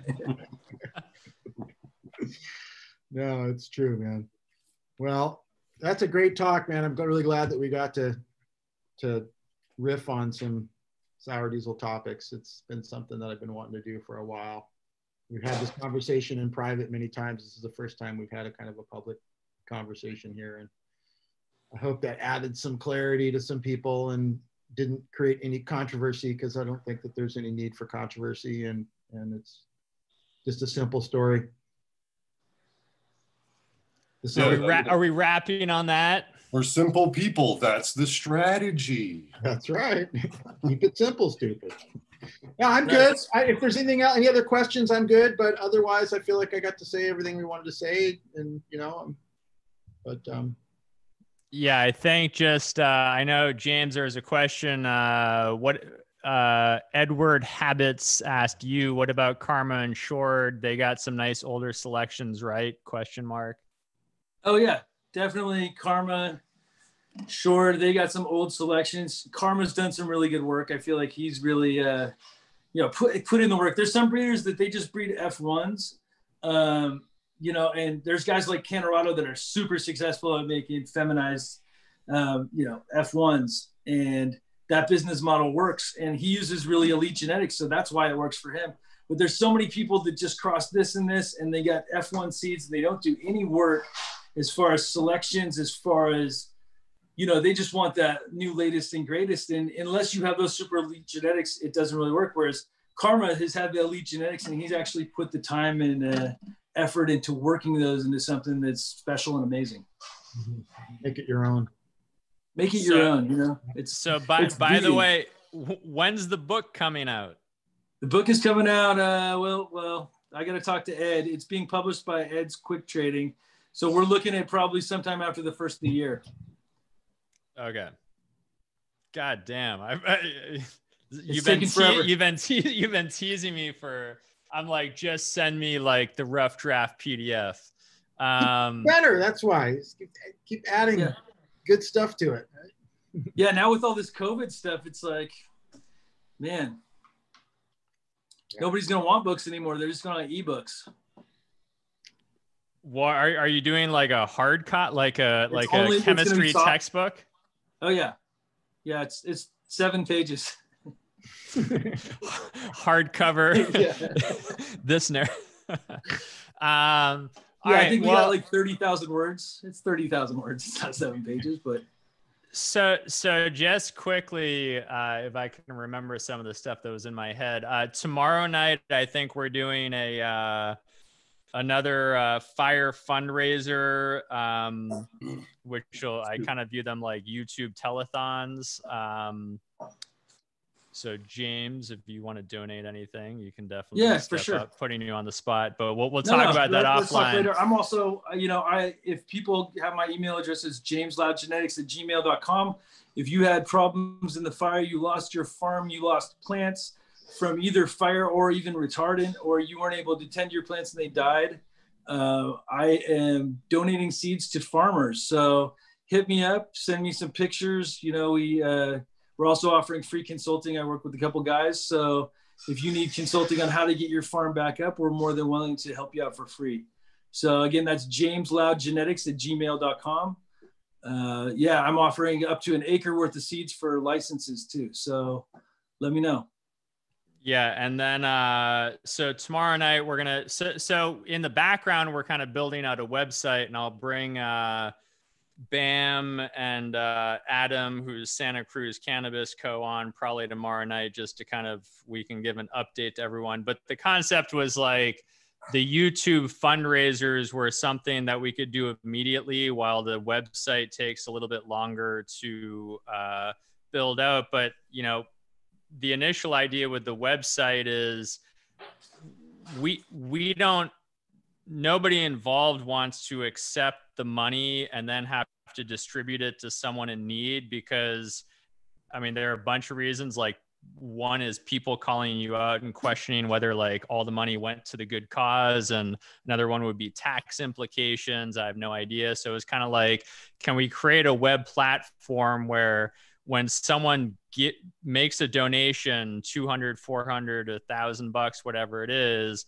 that it goes directly into the bank account of either a non-profit or an individual um, someone with health problems someone who lost a farm uh, so anyway that's what's going on in the background uh, some other random stuff uh, for all the Boston people in the house, I talked to Glen Big Baby Davis yesterday, and we're gonna do a.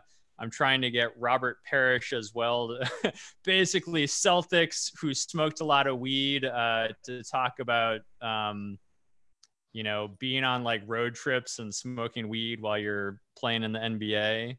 Um, so anyway, it's tomorrow night's the seed auction. We're doing that. Uh, and uh, there's a bunch of other stuff coming down the pipe. By the way, if anyone like I kind of pull these conversations together, but if anybody else wants to like throw out an idea and like moderate, I have no problem with that. Uh, I would love it actually.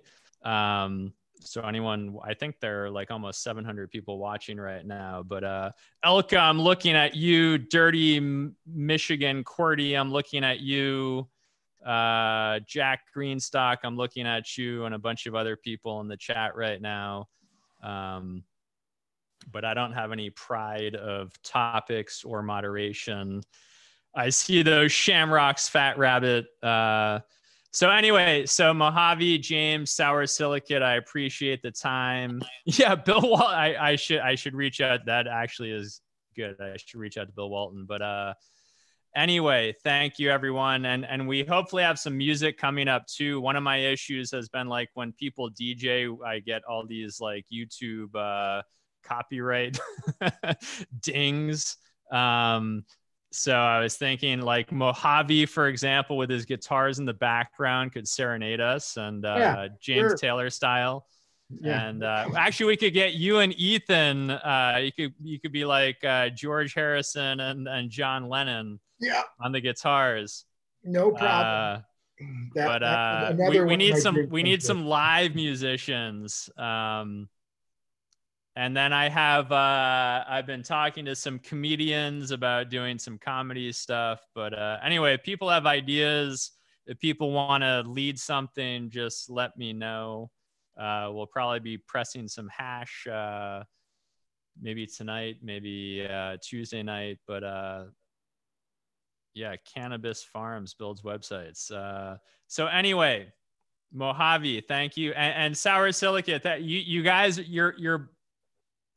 What I love is that you're very um, humble, and uh, you're not going to tell your own story, but uh, you know, Mojave was like, I know you love drama. I don't love drama. I just I I like getting to the truth and uh and and giving credit to people who deserve it even if they're the tiniest person um i have no problem you know just righting wrongs i guess or uh just giving credit where credit's due so it's more that uh, than anything else but uh with that we will kill the live stream. And I know everybody's waiting for the Patriots Seahawks game. So thanks for your platform. Thank you. Thank you so no, much. And, and, and I want actually, I want to have in the future, I want to have a glass conversation and Mojave can be your glass model because I want to talk talk glass. Oh yeah, we could show you some more, and um, I could yeah, I can let you know more about the amazing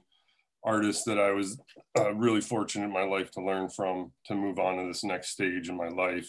Well, was that Bob or was that someone else? Uh, I was fortunate enough to take a small class with Bob at the original Eugene Glass School. Uh, I took a class with Lewis Wilson.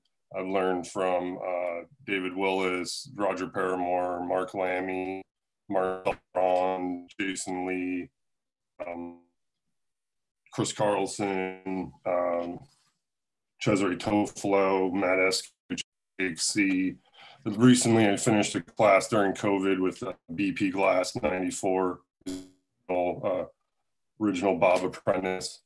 Um, and it's when I got around these people that my life really started changing. Um, you know, it's, it's never been easy. It's always been a struggle.